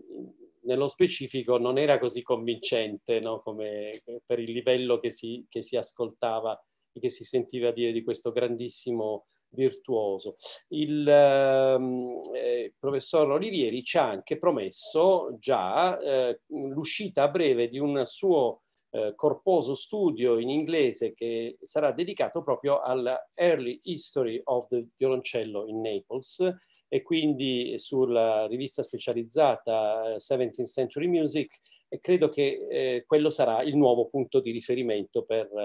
per tutte queste cose che stiamo dicendo, ma noi le abbiamo in qualche modo anticipate lanciando delle idee. Quindi Guido, a te un po' il compito, soprattutto sottolineando questo documento che tu hai pubblicato nel tuo articolo su Supriani,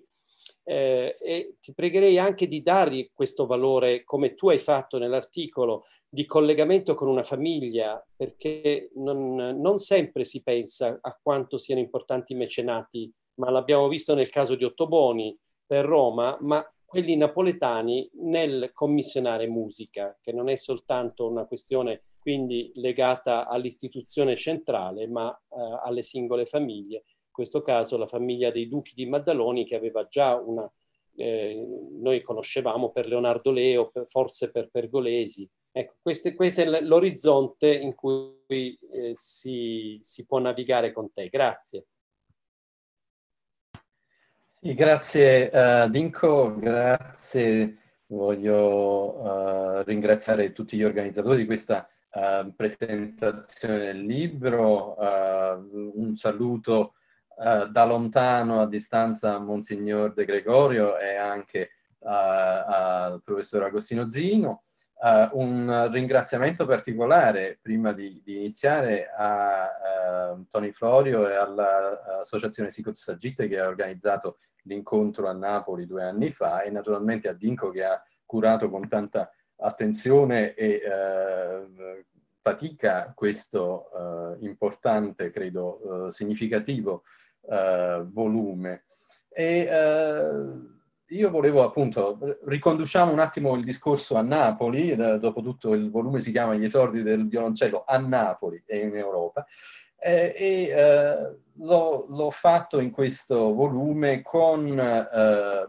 l'articolo, il mio, il mio saggio che si intitola Prassi e didattica del violoncello nel Napoli del Settecento, un bilancio degli studi. Ecco, può sembrare un po', eh, come dire, eh, paradossale fare un bilancio degli studi su un tema che è ancora eh, in qualche modo in fieri, che, che stiamo eh, ehm, scoprendo eh, nei, negli ultimi anni. Però devo dire che eh, innanzitutto volevo fornire in qualche modo al lettore una, uh, uno strumento, uno strumento di riferimento che in qualche modo fotografasse lo stato dell'arte, uh, della ricerca, visto che, uh, come eh, ricordava Dinko poco fa, sono, ahimè, oltre 30 anni mi occupo di, di storia della musica strumentale napoletana, quando diciamo ancora un po' gli studi musicologici si, si limitavano a veramente pochissimi interventi. E eh, recuperare, eh, dare un senso de,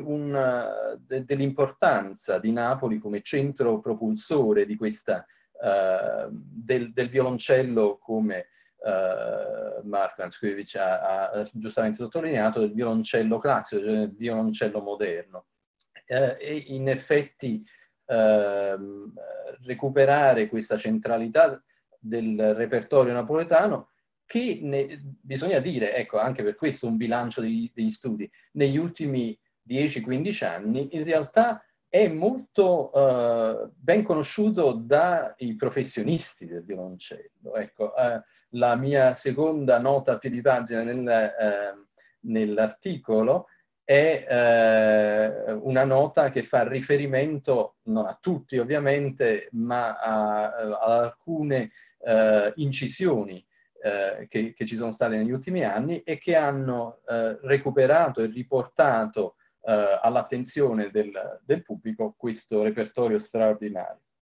Quindi bisogna in effetti, eh, quello, quello, che ho provato a fare in questo articolo è eh, veramente indicare quelle che sono state le linee di ricerca fino a questo momento e eh,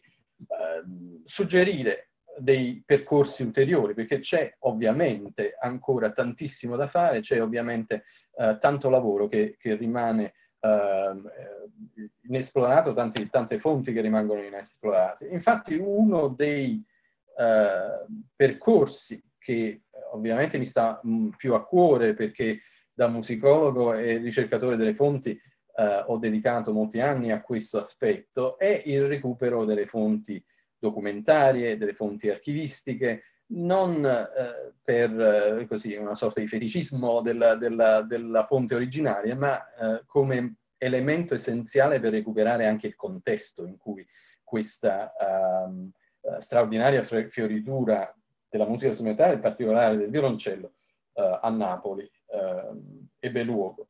E quindi, uh, per esempio, uno, delle, eh, uno dei, dei, documenti che ho incluso in questo saggio è quello a cui faceva riferimento uh, Dinko Fabris poco fa ed è un documento che emerge da quella miniera di conoscenze e di informazioni che sono gli antichi banchi napoletani che insomma uh, ormai i musicologi uh, napoletani conoscono molto bene. E qui abbiamo un documento che è riprodotto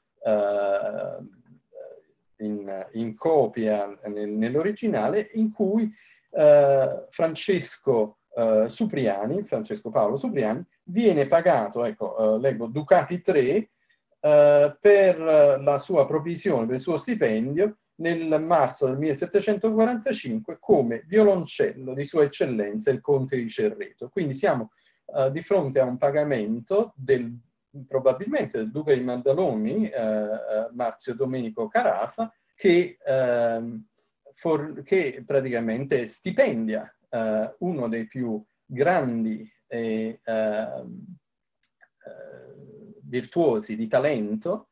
come probabilmente violoncello personale per, eh, per le esecuzioni, per le, per, per le performance nelle, nella sua uh, dimora, ma anche, chissà, anche come probabilmente come eh, maestro, insegnante. E quindi questo documento che è importante ovviamente per ricostruire anche la carriera, la biografia di Supriani, ma è anche un elemento fondamentale per dare eh, un piccolo squarcio su un tema che eh, veramente eh, ancora è, tutto da, da uh, ricostruire, che è quello della committenza, ovviamente, come diceva Dinko, la committenza non solo istituzionale, ma la committenza delle, uh, dei singoli mecenati che uh, contribuivano in maniera determinante al successo di questa, di questa tradizione. E diciamo, l'altro ehm, documento ecco, che, che, inserisco in questo, in questo saggio, questi sono in qualche modo i, i, le, i ritrovamenti più recenti di, di una uh, grande mole di, di, documenti e di testimonianze sulla fioritura del violoncello a Napoli. Un altro documento invece ci apre, uh, ci permette di dare uno sguardo su un altro aspetto che credo che sia quello uh, fondamentale, essenziale del ruolo di Napoli nella storia di, di questo strumento. E cioè il, uh, il documento che uh, non io, ma uh, Michael Lawrence, che è un conoscitore profondo degli archivi viennesi, ha gentilmente condiviso, è il documento che ehm, conferma come un flautista, ma un giovane di grande talento alla corte di Vienna, Franz Karls Drenger, ehm, viene inviato dall'imperatore e da Fuchs, quindi siamo, siamo al, uh, all'altissimo livello uh, qualitativo della cappella imperiale, nel 1718 a studiare violoncello, non flauto, uh, violoncello al Conservatorio di Napoli con il maestro Giovanni Carlo Cailò. E Cailò è, si parlava prima del, dell'ambiente romano e degli influssi e scambi fra Napoli e Roma, Cailò è probabilmente eh, il più grande maestro del 6-700 eh, di strumenti ad arco, non solo di violoncello, ma eh, Cailò violinista, e questo è un elemento eh, di fondamentale importanza. Questo documento ci testimonia cosa? Ci testimonia che Napoli è vista all'inizio del Settecento come un centro fondamentale eh, per gli strumenti, per gli strumenti ad arco, ma soprattutto per la didattica rivolta a questi strumenti. Quindi, eh, diciamo, la, la, domanda era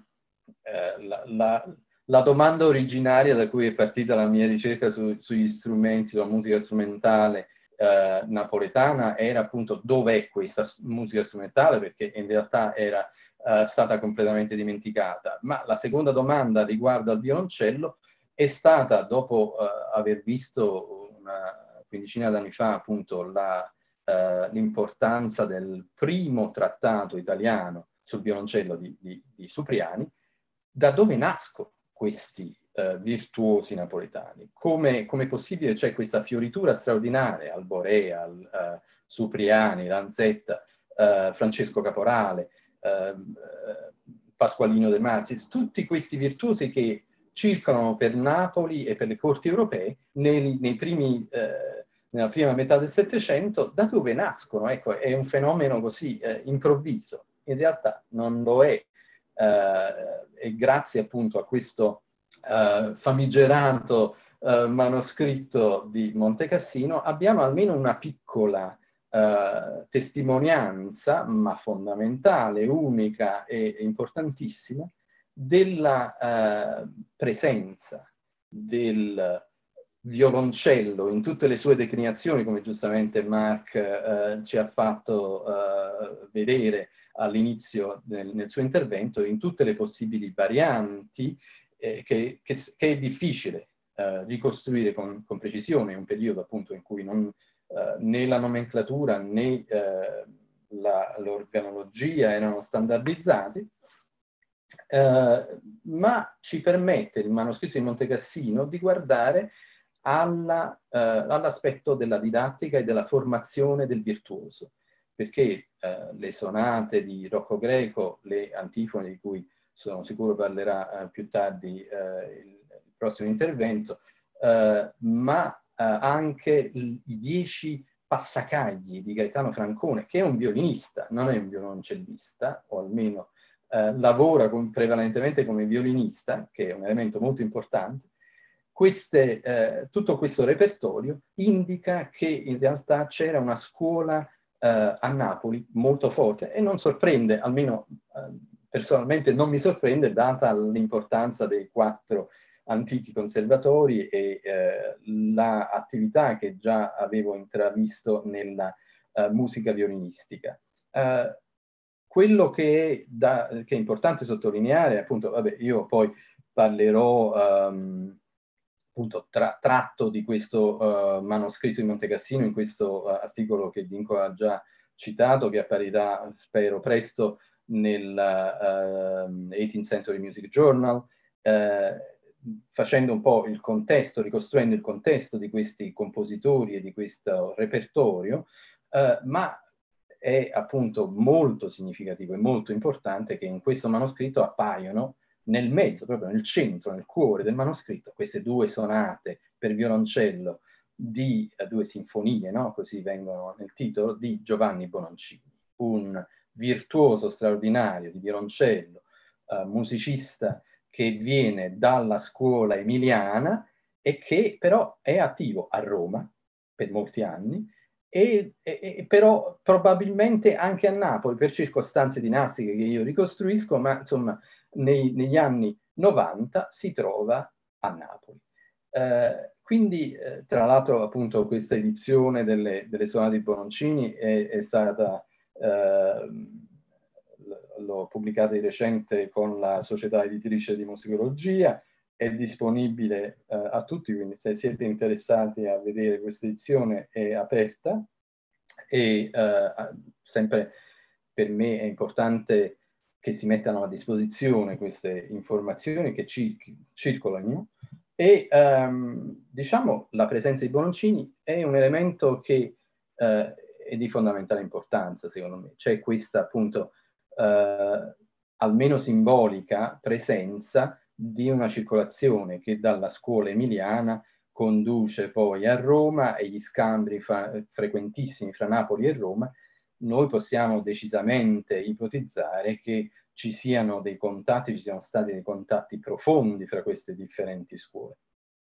Tra l'altro, l'unicità del manoscritto di, di, di Monte Cassino è che queste fondamentalmente sono le uniche due composizioni dedicate al violoncello di Bononcini, sicuramente attribuibili. L'unica sonata che c'è, che era conosciuta, è attribuita a Giovanni Bononcini,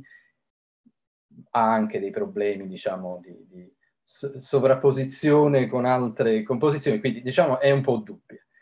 Um, quindi l'importanza della didattica, credo che questo sia un elemento e del, del repertorio dedicato a questo, e questo eh, sia un elemento uh, fondante della uh, scuola virtuosistica uh, violoncellistica napoletana. E a questo proposito penso che c'è tanto ancora da fare. Ho citato naturalmente il primo trattato manoscritto italiano di Supriani, i principi per imparare a suonare il violoncello,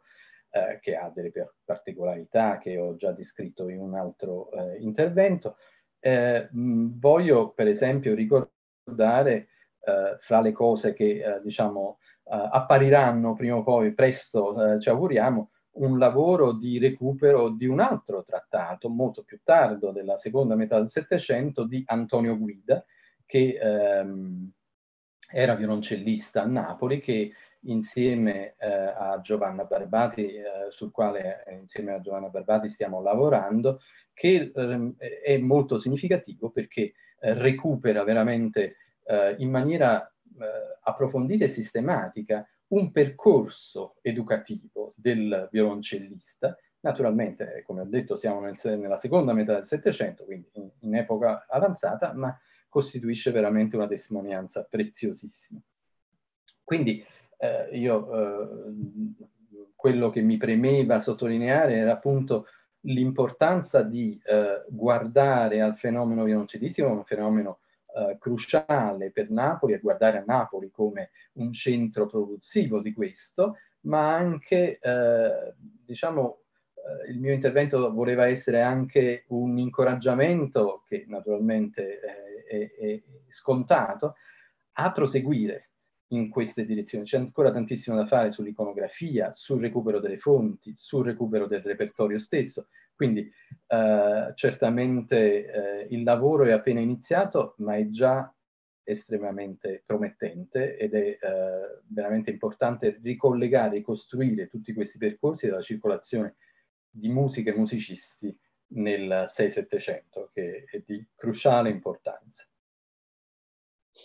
Grazie a Guido Olivieri, eh, che è l'ospite che parla da più lontano oggi, perché effettivamente penso che questo orario però sia confacente a, agli orari eh, statunitensi, come ci conferma anche Mark, che conosce bene, e il, eh, ci ha dato anche la possibilità di passare al prossimo, ha dato proprio il testimone perfetto al prossimo eh, ospite eh, perché eh,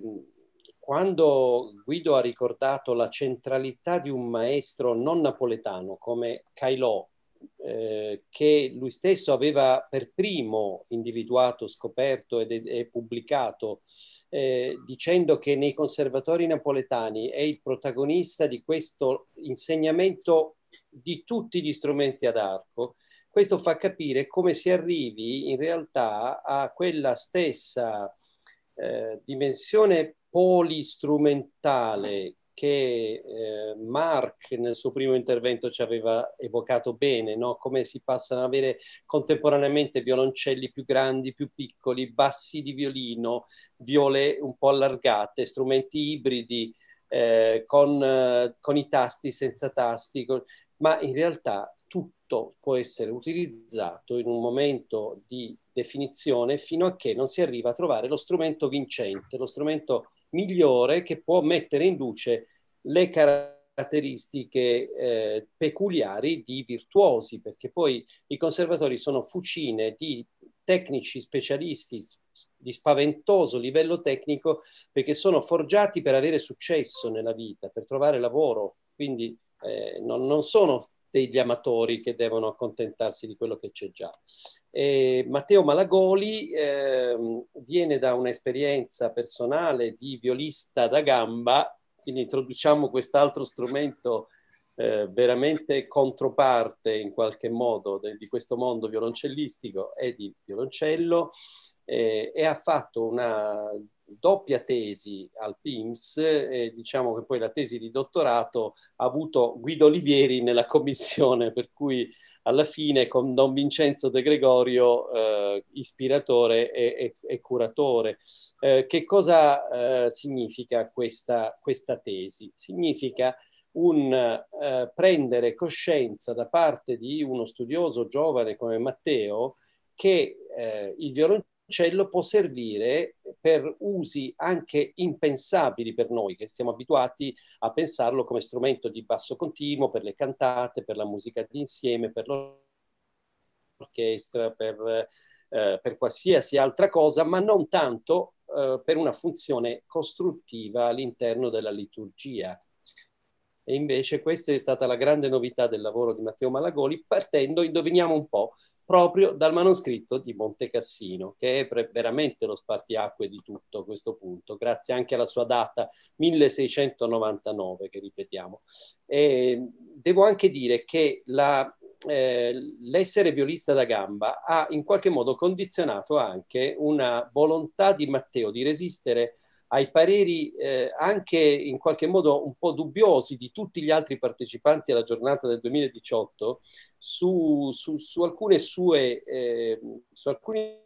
suoi pensieri o su alcune sue difese appassionate del suo strumento in ambito napoletano, eh, tanto che li abbiamo lasciati anche proprio come motivo di discussione eh, e di apertura all'interno del, del suo articolo ehm, c'è un momento sicuramente cruciale nel passaggio tra un, il mondo della viola da gamba e il mondo del violoncello e io mi sono permesso a mia volta, con l'aiuto di Antonio Florio, di individuare esattamente questo, eh, quale decennio possa essere stato. Il decennio non è sorpresa, è quello in cui arriva Alessandro Scarlatti a Napoli. Fino al 1683 eh, a Napoli si usa ancora viola da gamba in molti contesti, o almeno uno strumento che si chiama viola, ma non sappiamo assolutamente se sia la viola da gamba. C'è scritto però sempre solo viola. Eh, con Scarlatti arriva Cailò, non a caso, e dopo dieci anni troviamo già un ambiente così infervorato a Napoli che Alessandro Scarlatti potrà scrivere per la sua Giuditta, l'oratorio del 1693, una parte di violoncello solo dove per la prima volta troviamo a Napoli la scritta violoncello solo, quindi mm, non era eh, una cosetta così, tanto che Scarlatti scrive ai suoi amici romani, attenzione, se dovete farla eseguire, trovate qualcuno che la sappia suonare, perché aveva il dubbio che a Roma non ci fossero delle persone brave come quelle di Napoli per suonarla questa parte io ho preparato in questa maniera provocatoriamente il tuo intervento, però come al solito abbiamo solo pochi minuti, quindi invece di partire da Diego Ortiz come eh, hai fatto e, e, quindi col mondo della viola da gamba per arrivare al violoncello, mi piacerebbe che per gli ascoltatori, quelli che ci seguono, tu puntassi ancora una volta su questa incredibile scoperta che hai fatto, che nel manoscritto di Montecassino noi abbiamo il segreto di una liturgia musicale di, col violoncello, una cosa assolutamente inaspettata. Prego. Grazie, grazie Dingo, grazie Antonio Florio, soprattutto anche per l'invito a partecipare al... Si, si sente? Sì. sì. Eh, grazie soprattutto per l'invito a partecipare a questa fondamentale giornata di studio sull'origine del violoncello a Napoli nell'ottobre del 2018, come già anticipato anche da tanti, da tu stesso, da te stesso, e una piccola precisazione, grazie di, questo, di questa particolarità nel presentarmi come violista di gamba, certo eh, sono stato fino adesso nella storia l'unico biennio superiore specialistico fatto a Santa Cecilia a Roma, ecco, Quindi però io nasco violoncellista, sono violoncellista fin dall'età di otto anni e quindi è stato il, il, mio primissimo strumento che ho insegnato anche più di vent'anni in conservatorio, ma la, la, viola da gamba è stato una, un amore fin dall'adolescenza, dopo che andai casualmente ad un concerto, ho detto io prima o poi voglio abbracciare anche questo strumento. Quindi da doppio strumentista, da doppio strumentista di questi due strumenti che ho voluto portare appunto a livelli professionali e adesso insegno anche tutti e due in due diverse situazioni e appunto ho approfondito, anche voluto approfondire questo discorso, provocare, come giustamente hai detto tu Dinko, sulla, sulla questione a Napoli che arrivò Diego Artis e quindi con Silvestro Ganassi a Venezia, sono i due punti focali della viola da gamba nel Rinascimento italiano. E come già anticipato dai miei predecessori, anche dal mio correlatore Guido, che sono molto contento di essere insieme con lui oggi, come tutti gli altri amici e colleghi, musicisti e musicologi, musicologi e violoncellisti. La mia attenzione già dal 2008, eh, grazie al defunto Don Faustino Avagliano, che fu il, l'archivista di Monte Cassino e che mi illuminò d'immenso, se posso citare gratuitamente questa citazione, sul, sul manoscritto in questione, si è focalizzata per mio specifico interesse sempre sul, sulla possibilità di osservare il violoncello non tanto dal punto di vista sempre consolidato del sonatismo, quindi della forma sonata, della forma concerto, eh, ma cosa ha fatto, cosa può aver fatto in chiesa e questa è stata una provocazione tra l'altro che venne da una composizione napoletana del Novecento storico e che magari se riesco ci arrivo dopo. E quindi, e quindi, focalizzando i miei studi approfonditi, che poi ovviamente si sono anche ampliati per mia formazione a livello professionale nel canto gregoriano, nella liturgia e nell'organo, eh, ho potuto approfondire eh, scientificamente questi, questo, questo corpus di composizioni, di 11 composizioni presenti in questo manoscritto del signor Rocco Greco, con eh, esattamente un titolo particolare, ognuna reca un titolo iniziale. Cosa sono questi titoli? In latino sono esattamente gli incipit di antifone dei secondi vespri per differenti solennità liturgiche. Quindi qui ci troviamo all'interno della celebrazione dell'ufficio, dell'ufficio dei secondi vespri, con la particolarità della solennità. Oggi è impensabile eh, dopo il Concilio Vaticano II, pensare ai Vespri solenni con, eh, con una prosopopea di strumenti, oltre eventualmente magari all'organo, una eh, compagine corale. Napoli invece ci insegna come unico caso in assoluto nella storia della musica e soprattutto della, del cattolicesimo, della liturgia cattolica, di questa particolarità, con 11, e questo fa strano, questo numero 11 che non è 12, non è 10 come i passagagli di Gaetano Francone, questo numero 11 probabilmente qualcuno è rimasto indietro oppure sono composizioni su commissione singola di varie istituzioni religiose partenopee per cui sono diventate 11. Sono antifone di varie solennità, le prime tre sono in ordine nel calendario liturgico preconciliare post-tridentino, ma anche attuale, post-conciliare, e sono per un'antifona eh, dei secondi vespri dell'Ascensione, della Pentecoste e del Corpus Domini. Poi altre sono tutte feste mobili, sono feste liturgiche mobili, in cui ci sono ovviamente, come tutte le feste e le solennità del calendario liturgico, eh, l'ufficio dei Vespri, quindi eccetto una, eccetto una che mi ha fatto studiare molto più approfonditamente, che è stato, e qui c'è un collegamento importante, che è stato il responsorio di Sant'Eligio. Il responsorio di Sant'Eligio non esiste sui più importanti eh, testi di canto gregoriano attuali come il graduale triplex, il graduale novum e anche il vetusto storico, importantissimo Liber Usualis, ma va cercato in un unico codice notato presente a Parigi, unico al mondo, in cui c'è la festa di Sant'Eligio. Ma Sant'Eligio sappiamo che una delle, Sant'Eligio Maggiore è una delle chiese più importanti, anche attuali, di Napoli.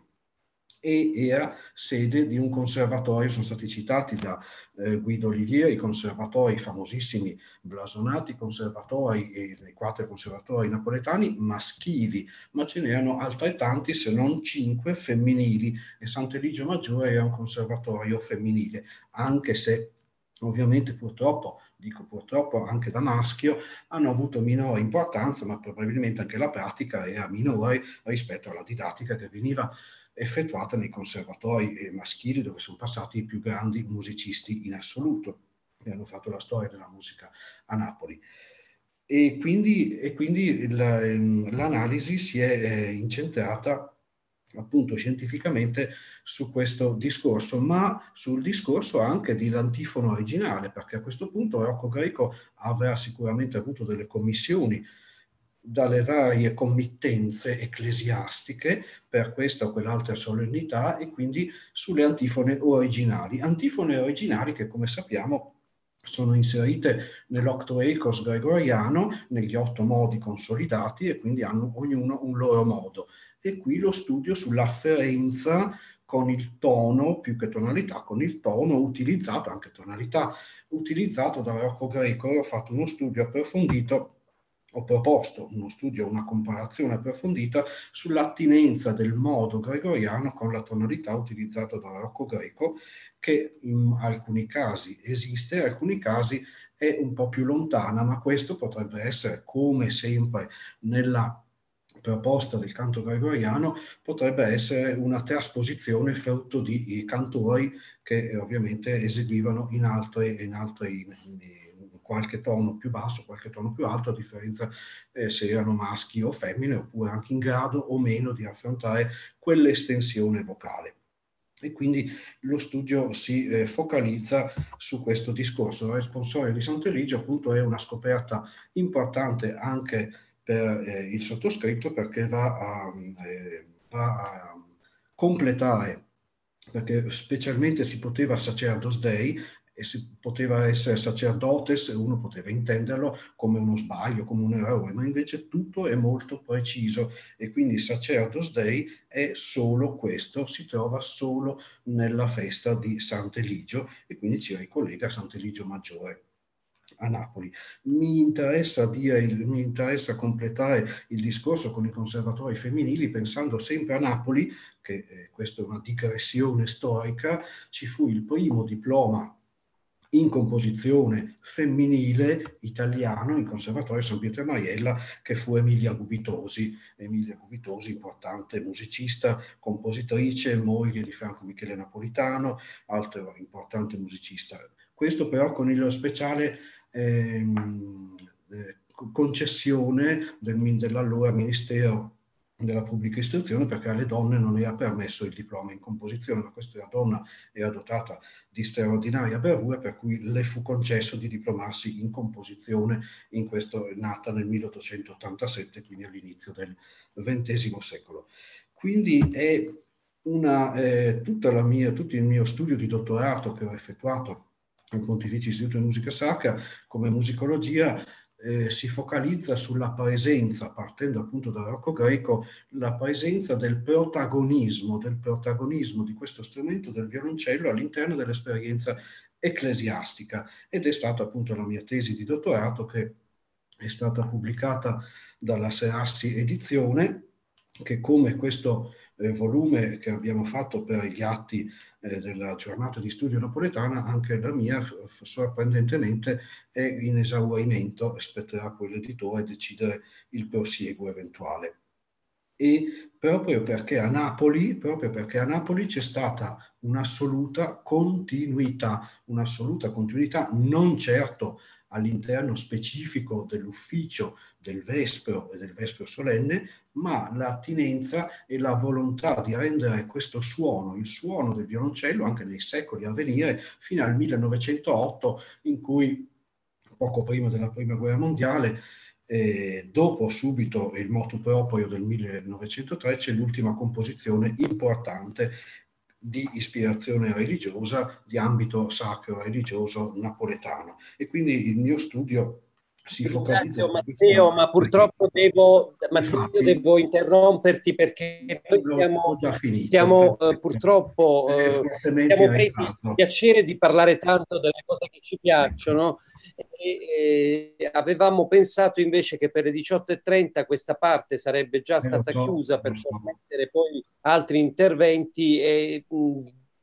sapete che gli ultimi sono sempre più sacrificati, ma non significa che siano i meno interessanti, anzi eh, l'avete capito, e e il contributo di Matteo Malagoli è veramente la sorpresa delle sorprese all'interno di questo volume, quindi lo ringraziamo tantissimo, invitando tutti quelli che sono a questo punto incuriositi da andarselo subito a cercare questo libro. E abbiamo perché dobbiamo dare spazio ancora a Luigi Sisto che ci rappresenta il mondo della costruzione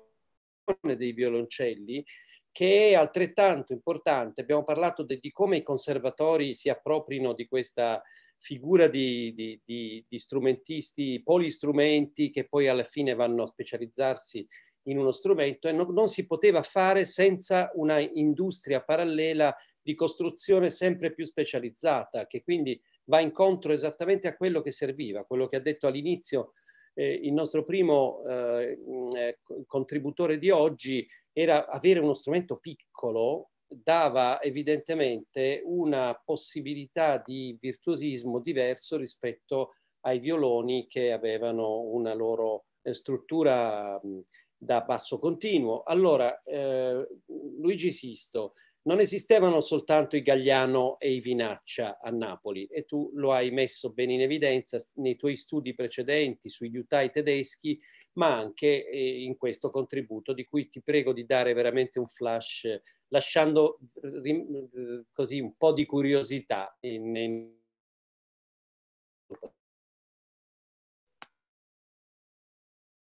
Il microfono, eh, Luigi, devi, devi attivare il microfono. Ok. Eh, buonasera, sarò brevissimo, sarò, eh, accolgo l'invito di Dinko, grazie a tutti voi per avermi invitato.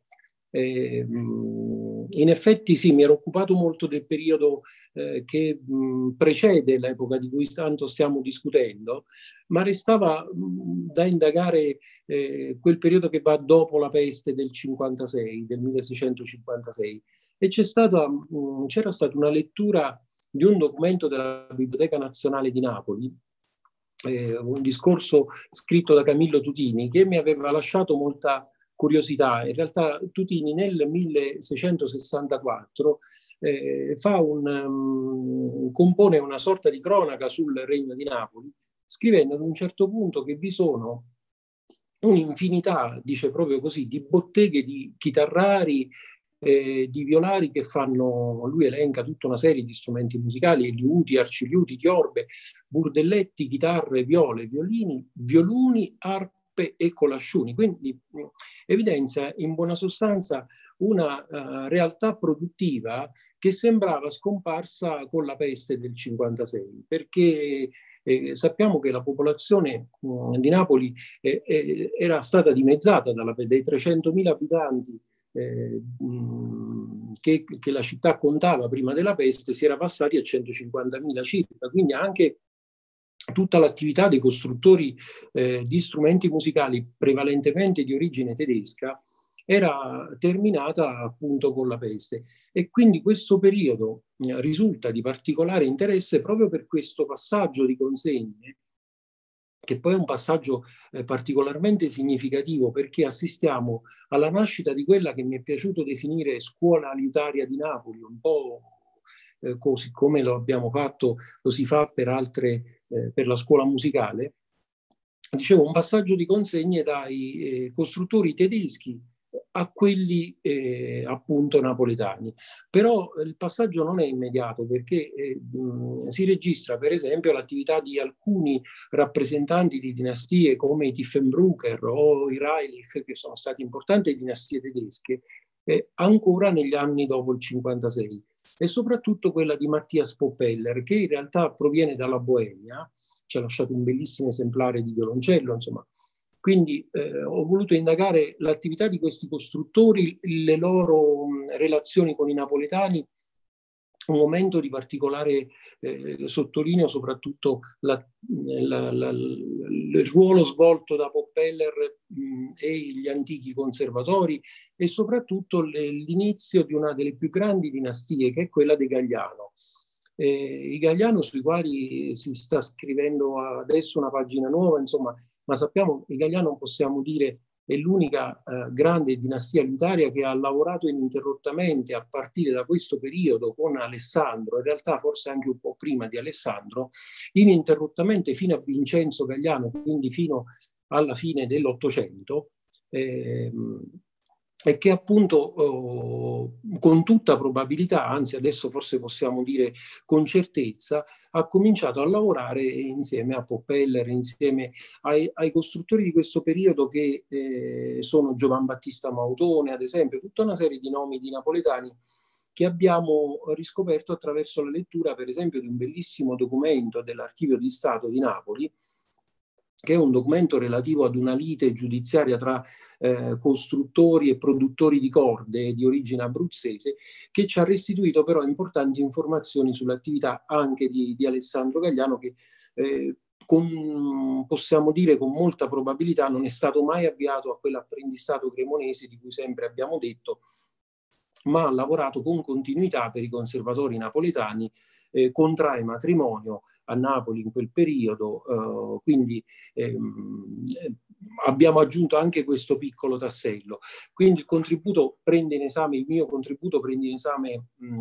l'attività di questi costruttori, collocandoli anche nel tessuto urbano cittadino, evidenziando in quali erano i luoghi eh, di, di, attività, quali era la destinazione della loro eh, produzione principalmente, eh, perché Napoli poi aveva da questo punto di vista sempre avuto una eh, particolarità, le botteghe non erano collocate in una sola strada come accadeva per esempio a Bologna, a Firenze, a, nella stessa Roma,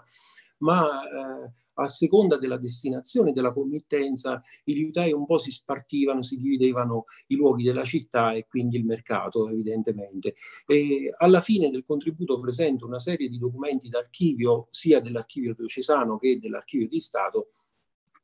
che ci consentono di tracciare meglio questa, eh, questo momento di inizio appunto di quella che ho voluto definire scuola elitaria di Napoli. C'è per esempio un documento nuovo sulla dinastia dei Filano, una dinastia che avrà anche questa grande fortuna nel corso della storia di Napoli, insomma. E crediamo che nella produzione de, di questi strumenti abbiano dato ancora un contributo in tedeschi, ma soprattutto si definisce meglio in questo periodo l'attività dei napoletani che sembrava non essere tentata prima della peste e invece proprio in questo periodo eh, è maggiormente meglio rappresentata appunto da tutti questi nomi. Un'ultima cosa, in questi documenti dell'Archivio di Stato eh, si fa menzione di tanti costruttori che svolgono insieme l'attività di musici. Ancora, ancora c'era questo, mh, mm, questa, questa, particolarità, quindi eh, i musici erano spesso anche costruttori, c'è un l'attività di Poppeller, di, di, Albanese ad esempio, eh, di, di, un buon numero di questi costruttori che erano anche musici.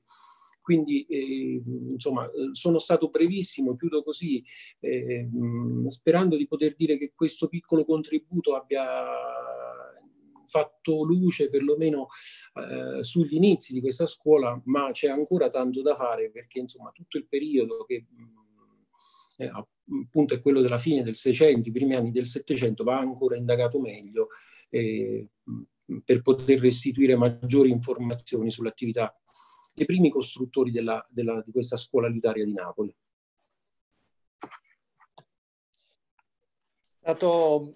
conciso, ma hai dato l'idea della prospettiva enorme che c'è e basterebbe pensare al tuo ruolo come conservatore responsabile del, degli strumenti storici del, del, della parte museo del Conservatorio San Pietro Maiella di Napoli con tutti quei violoncelli splendidi, alcuni in grado di suonare, no? quindi da, da, rimettere in qualche modo in gioco e, e, e tutti gli studi di Luigi Sisto sono tutti improntati a questa massima serietà dal documento alla prassi esecutiva e alla riesecuzione. Eh, non tolgo neppure un secondo più alla, alla parte finale, il rush finale, perché alle 19 dovremmo chiudere questo nostro collegamento e ci restano due ospiti molto graditi eh, da ascoltare e chiedo però soltanto al professor Santoli se possiamo sapere che cosa hanno detto i nostri coloro che ci seguono su YouTube.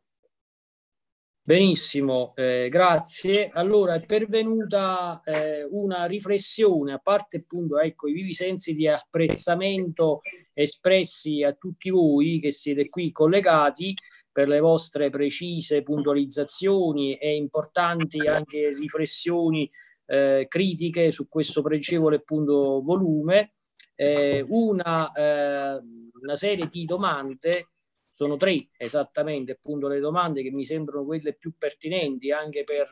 eh, quello che stiamo attualmente eh, dicendo, esponendo, sviluppando da parte della collega, dalla professoressa Milena Montanile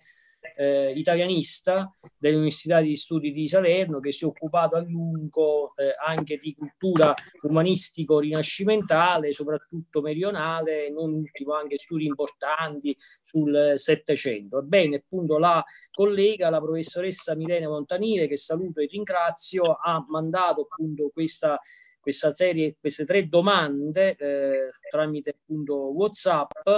eh, la prima è sulla circolazione di musica e musicisti tra 6 e 700 esiste un minimo di bibliografia?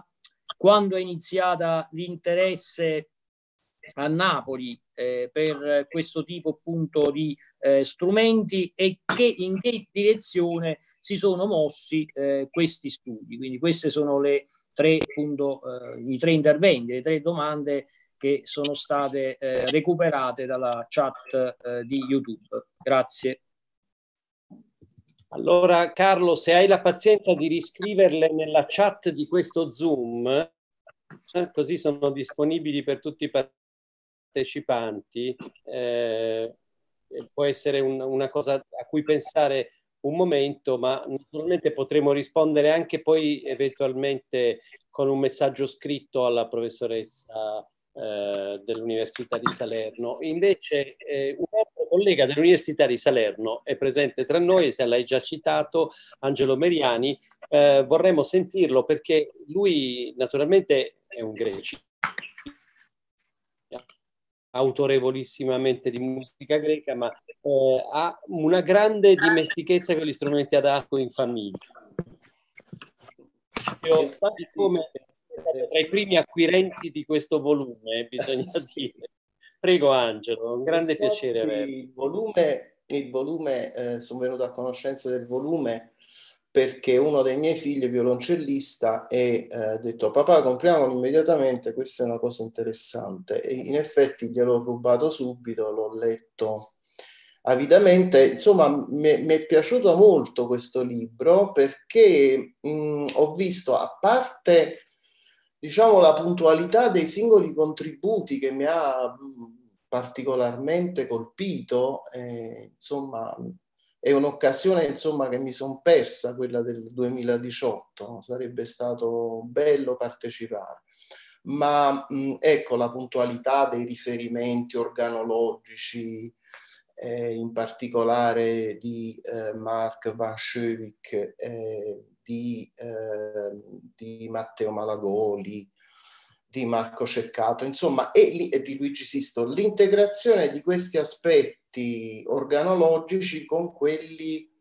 più specificamente di repertorio, di costruzione, cioè come lo strumento cresce con il suo repertorio, mi ha, mi ha molto colpito. E il repertorio si, si determina e determina i cambiamenti dello strumento. Insomma, questa interazione tra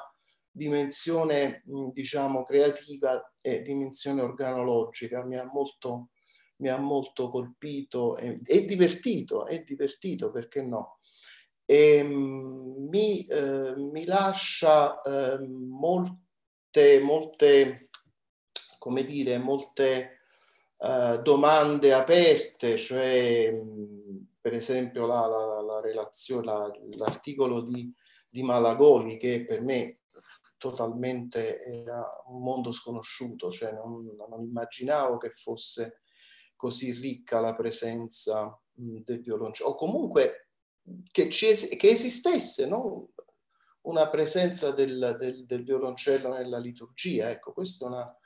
una cosa molto interessante. L'argomentazione di Vascevic mi sembra sul violoncello, sul violoncello da spalla, mi sembra decisiva. E una cosa che mi colpiva era questa, cioè noi adesso cerchiamo di fare una cosa contraria a quella che hanno fatto um, i violoncellisti, i liutai, da che è nato lo strumento fino ad oggi. Parlava, diceva appunto Mark prima, di progressivi adattamenti alle prassi che si modificavano, cioè lo strumento grande si rimpicciolisce, il piccolo si rimpicciolisce ancora, eccetera. Cioè un recupero del, del patrimonio precedente per eh, re, reimpiegarlo in un repertorio che si va eh, progressivamente eh, creando. Invece noi, siccome abbiamo questa, diciamo, questa ma, malintesa filologia, ecco, diciamo, vogliamo ricostruire anche quello che non è mai esistito. Ecco, questo mi ha, mi ha molto colpito, eh, che probabilmente questo violoncello da spalla, non, se è esistito, non, non aveva queste, queste caratteristiche, però noi lo vogliamo, lo vogliamo ricostruire, l'abbiamo ricostruito, funziona non male, funziona non male, no? Pare, perché insomma è stato utilizzato da un bravo strumentista, però insomma, ecco, quindi grande compiacimento per il volume, per il ringraziamento ai, ai oramai li posso chiamare amici perché stiamo da circa un'ora, ci guardiamo, io li guardo parlare, li ascolto eh, Dinko ha avuto una bellissima idea nell'ideare la giornata di studio e Carlo pure ha avuto una, un'eccellente idea nel volerla presentare. Io vi ringrazio. Non so grazie se si sentito. Davvero grazie, eh, anche perché lo sguardo dall'esterno è molto importante, ecco perché era importante anche sapere che c'è un, un, bel gruppo di persone che sta seguendo questa, eh, questa trasmissione Zoom eh, su, su, con vari sistemi, anche, anche, su Facebook si è sviluppato un piccolo dibattito, perciò prima ho confuso YouTube e Facebook in risposta alla nostra circolazione, insomma era quello che volevamo, smuovere un po' le acque. E abbiamo l'ultimo ospite eh, invitato eh, a questo incontro che mh, mm, eh, parla da Barcellona eh, ed è un grande amico della musica italiana per violoncello perché ha dedicato due dischi, uno a Giacomo Facco, eh, musicista del, del nord del, dell'Italia, ma con grandi ramificazioni nei suoi viaggi, a proposito di circolazione dei musicisti dalla, dalla Sicilia alla Spagna, Nuovo Mondo, e, eh, e poi questo disco qui eh, che ha presentato appunto venendo a Napoli nel 2018, che è dedicato a Francesco Supriani, in cui suonava eh, una serie dei, di quelle sinfonie e sonate dei, dei manoscritti eh, che noi abbiamo di Supriani. Eh, su Supriani la ricerca è continuata, eh, ci sono anche piccole novità biografiche eh, in corso, come abbiamo visto anche dall'intervento di Guido, ma credo che sentire il parere di Guillermo eh, Turina sulla, sul, sul, come, come, vede adesso questa, eh, questa, figura e poi tutto quello che lui vuol dire anche su, in generale sulla, sulla, tematica svolta in questo eh, libro. Bueno, eh, yo no hablo italiano, lo siento, lo siento mucho. Hablaré en castellano un poco despacio,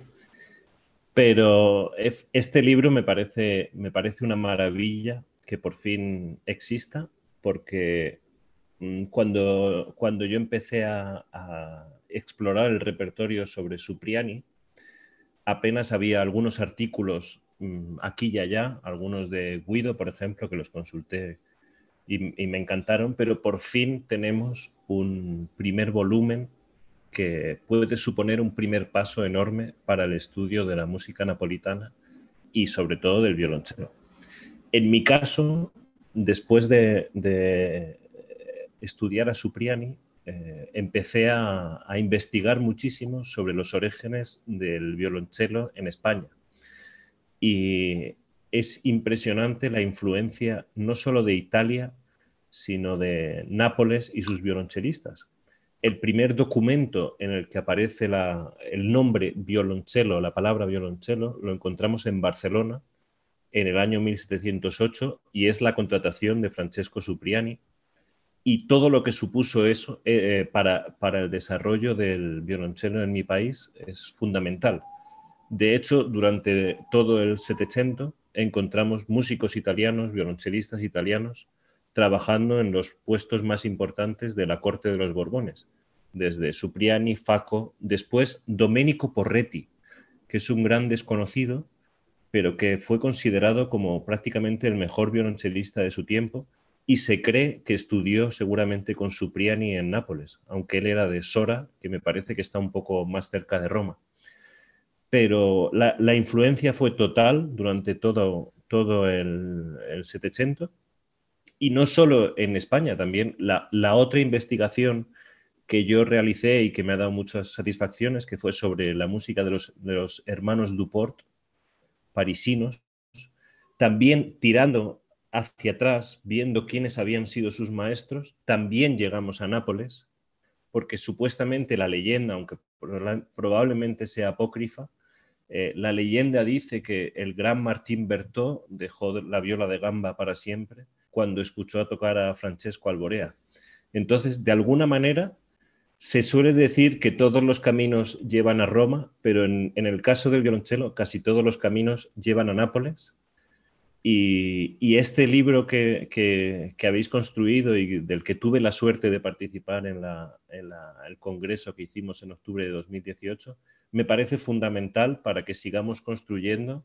y sigamos encontrando repertorio tan interesante como el del que nos hablaba Mateo o de los que nos ha hablado Marco. Y bueno, adelante, sigamos, sigamos trabajando y, muchísimas gracias por, por permitirme estar aquí con vosotros.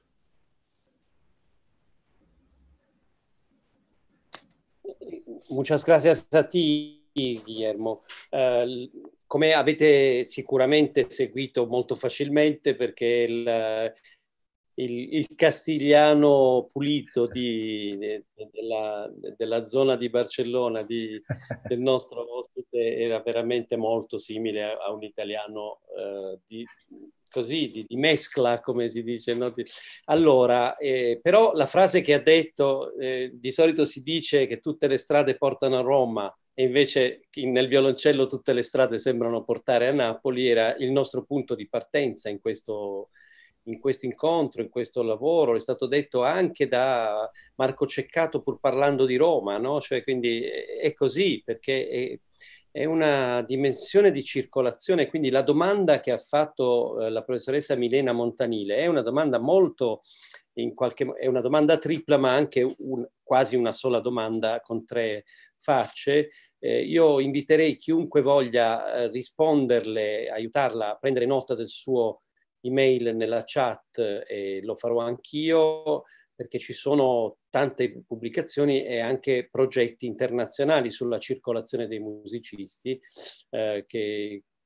che hanno prodotto una bibliografia molto molto ampia, ma sui violoncellisti c'è pochissimo. Eh, c'è ancora poco, lo stiamo costruendo pian piano grazie all'aiuto di tutti voi specialisti, voi esperti e, e, e devo dire che è contagioso il violoncello evidentemente. E qui faccio anche la piccola confessione privata di dirvi che pur essendo un musicologo eh, anch'io eh, ho un passato di musicista, e questa è una battuta perché tutti dicono che i, i musicologi sono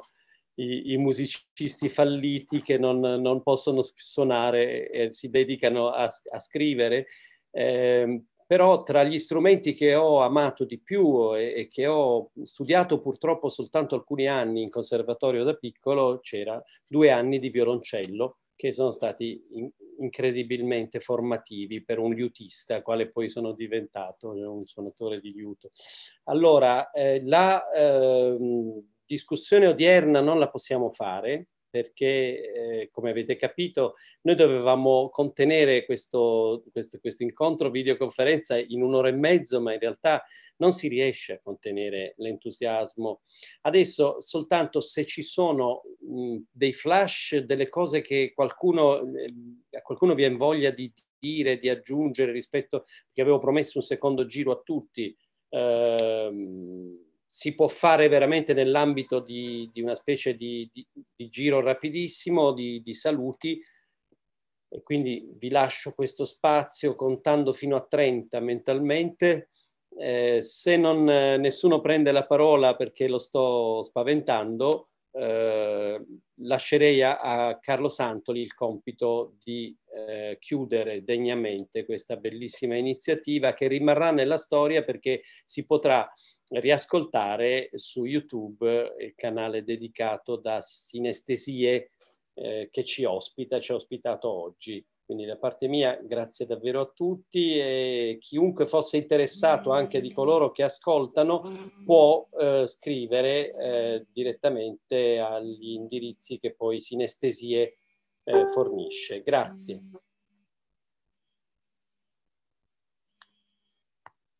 Carlo. Sì, eh, grazie a tutti voi. Eh, io non so, può darsi che forse sarà l'età eh, miei 52 anni, ma il collega, il caro collega, il professor Angelo Mediani lo sa che io purtroppo eh, vado a commuovermi. Perché mi commuovo? Mi commuovo innanzitutto, mi commuove la cultura. Quando io ho, per dirla con Montale, un'occasione sempre di apprendimento, di acquisizione, di arricchimento appunto umano, concettuale, culturale, eh, quindi Dingo Fabris, Luigi Sisto, tutti quanti voi che non voglio appunto qui nominare, eccetera, ma soprattutto le istituzioni che hanno voluto organizzare eh, questo importante incontro culturale internazionale, ovvero il Comune di Gesualdo, l'assessorato alla cultura, eh, la Fondazione Carlo Gesualdo, l'Istituto Italiano di Studi Gesualdiani, eh, anche appunto la Sovrintendenza di Avellino, Ministero dei beni ambientali, culturali e territoriali con il dottor Flavio Petroccione, l'Andis, l'Associazione Nazionale di Dirigenti Scolastici, tutta una grande famiglia, tutto un grande consesso di persone, concetto autorevole ante omnia, il paradigma di valore, per dirla con De Sanctis, mio conterraneo, sono le persone. Quindi persone che hanno una ricchezza che prima che sia intellettuale culturale e voi l'avete appunto come grande patrimonio eh, intellettivo, come grande contributo alla storia, alla rinascita di questo nostro paese e della comunità civile dell'umanità perché la cultura ha una cifra appunto di questa portata, la cifra appunto della cultura è quando effettivamente si contribuisce autorevolmente e significativamente a fare cultura, a dare un contributo importante, significativo al consesso sociale, al consesso umano e quindi al nostro poi, alla nostra grande comunità. È una comunità di intenti, è una comunità eh, programmatica, eh, l'associazione Sinestesie si muove su più fronti, come avete potuto vedere, non soltanto la letteratura, le arti, la musica, una grande interazione, una grande concertazione di intenti programmatici. È tutto messo a disposizione gratuitamente perché ovviamente il mio impegno come studioso, come intellettuale poi successivamente anche come promotore, organizzatore della cultura è quella sempre di aggiungere qualche piccola tessera allo sviluppo appunto della nostra territorialità, ma soprattutto alla valorizzazione attraverso di noi del patrimonio culturale, umano e civile. Grazie a tutti, ringrazio ovviamente la vostra partecipazione, compartecipazione e quindi vi do appuntamento alla prossima iniziativa. Invito ovviamente Angelo Meriani, invito tutti voi studiosi musicologi eh, a seguire eh, la Summer School su Carlo Gesualdo, seconda edizione su piattaforma Zoom con trasmissioni in diretta su YouTube. Quest'anno ci saranno molte istituzioni promosse e organizzate dal Dipartimento di Studi Umanistici dell'Università eh, di Salerno. Ringrazio nuovamente la mia direttrice la professoressa Rosa Maria Grillo, ringrazio tutti i colleghi che me ne fanno parte, nonché eh, anche altre istituzioni importanti come la Fondazione Gesualdo e l'Istituto Italiano di Studi Gesualdiani. Grazie ancora.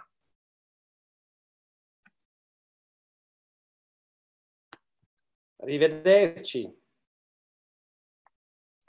Arrivederci, arrivederci a tutti. Grazie. Arrivederci a tutti e grazie. grazie molto ancora. Grazie. Grazie a tutti i musicologi, grazie. Buona serata a voi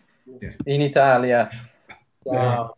Esisti Guido che tra poco cambia presidente.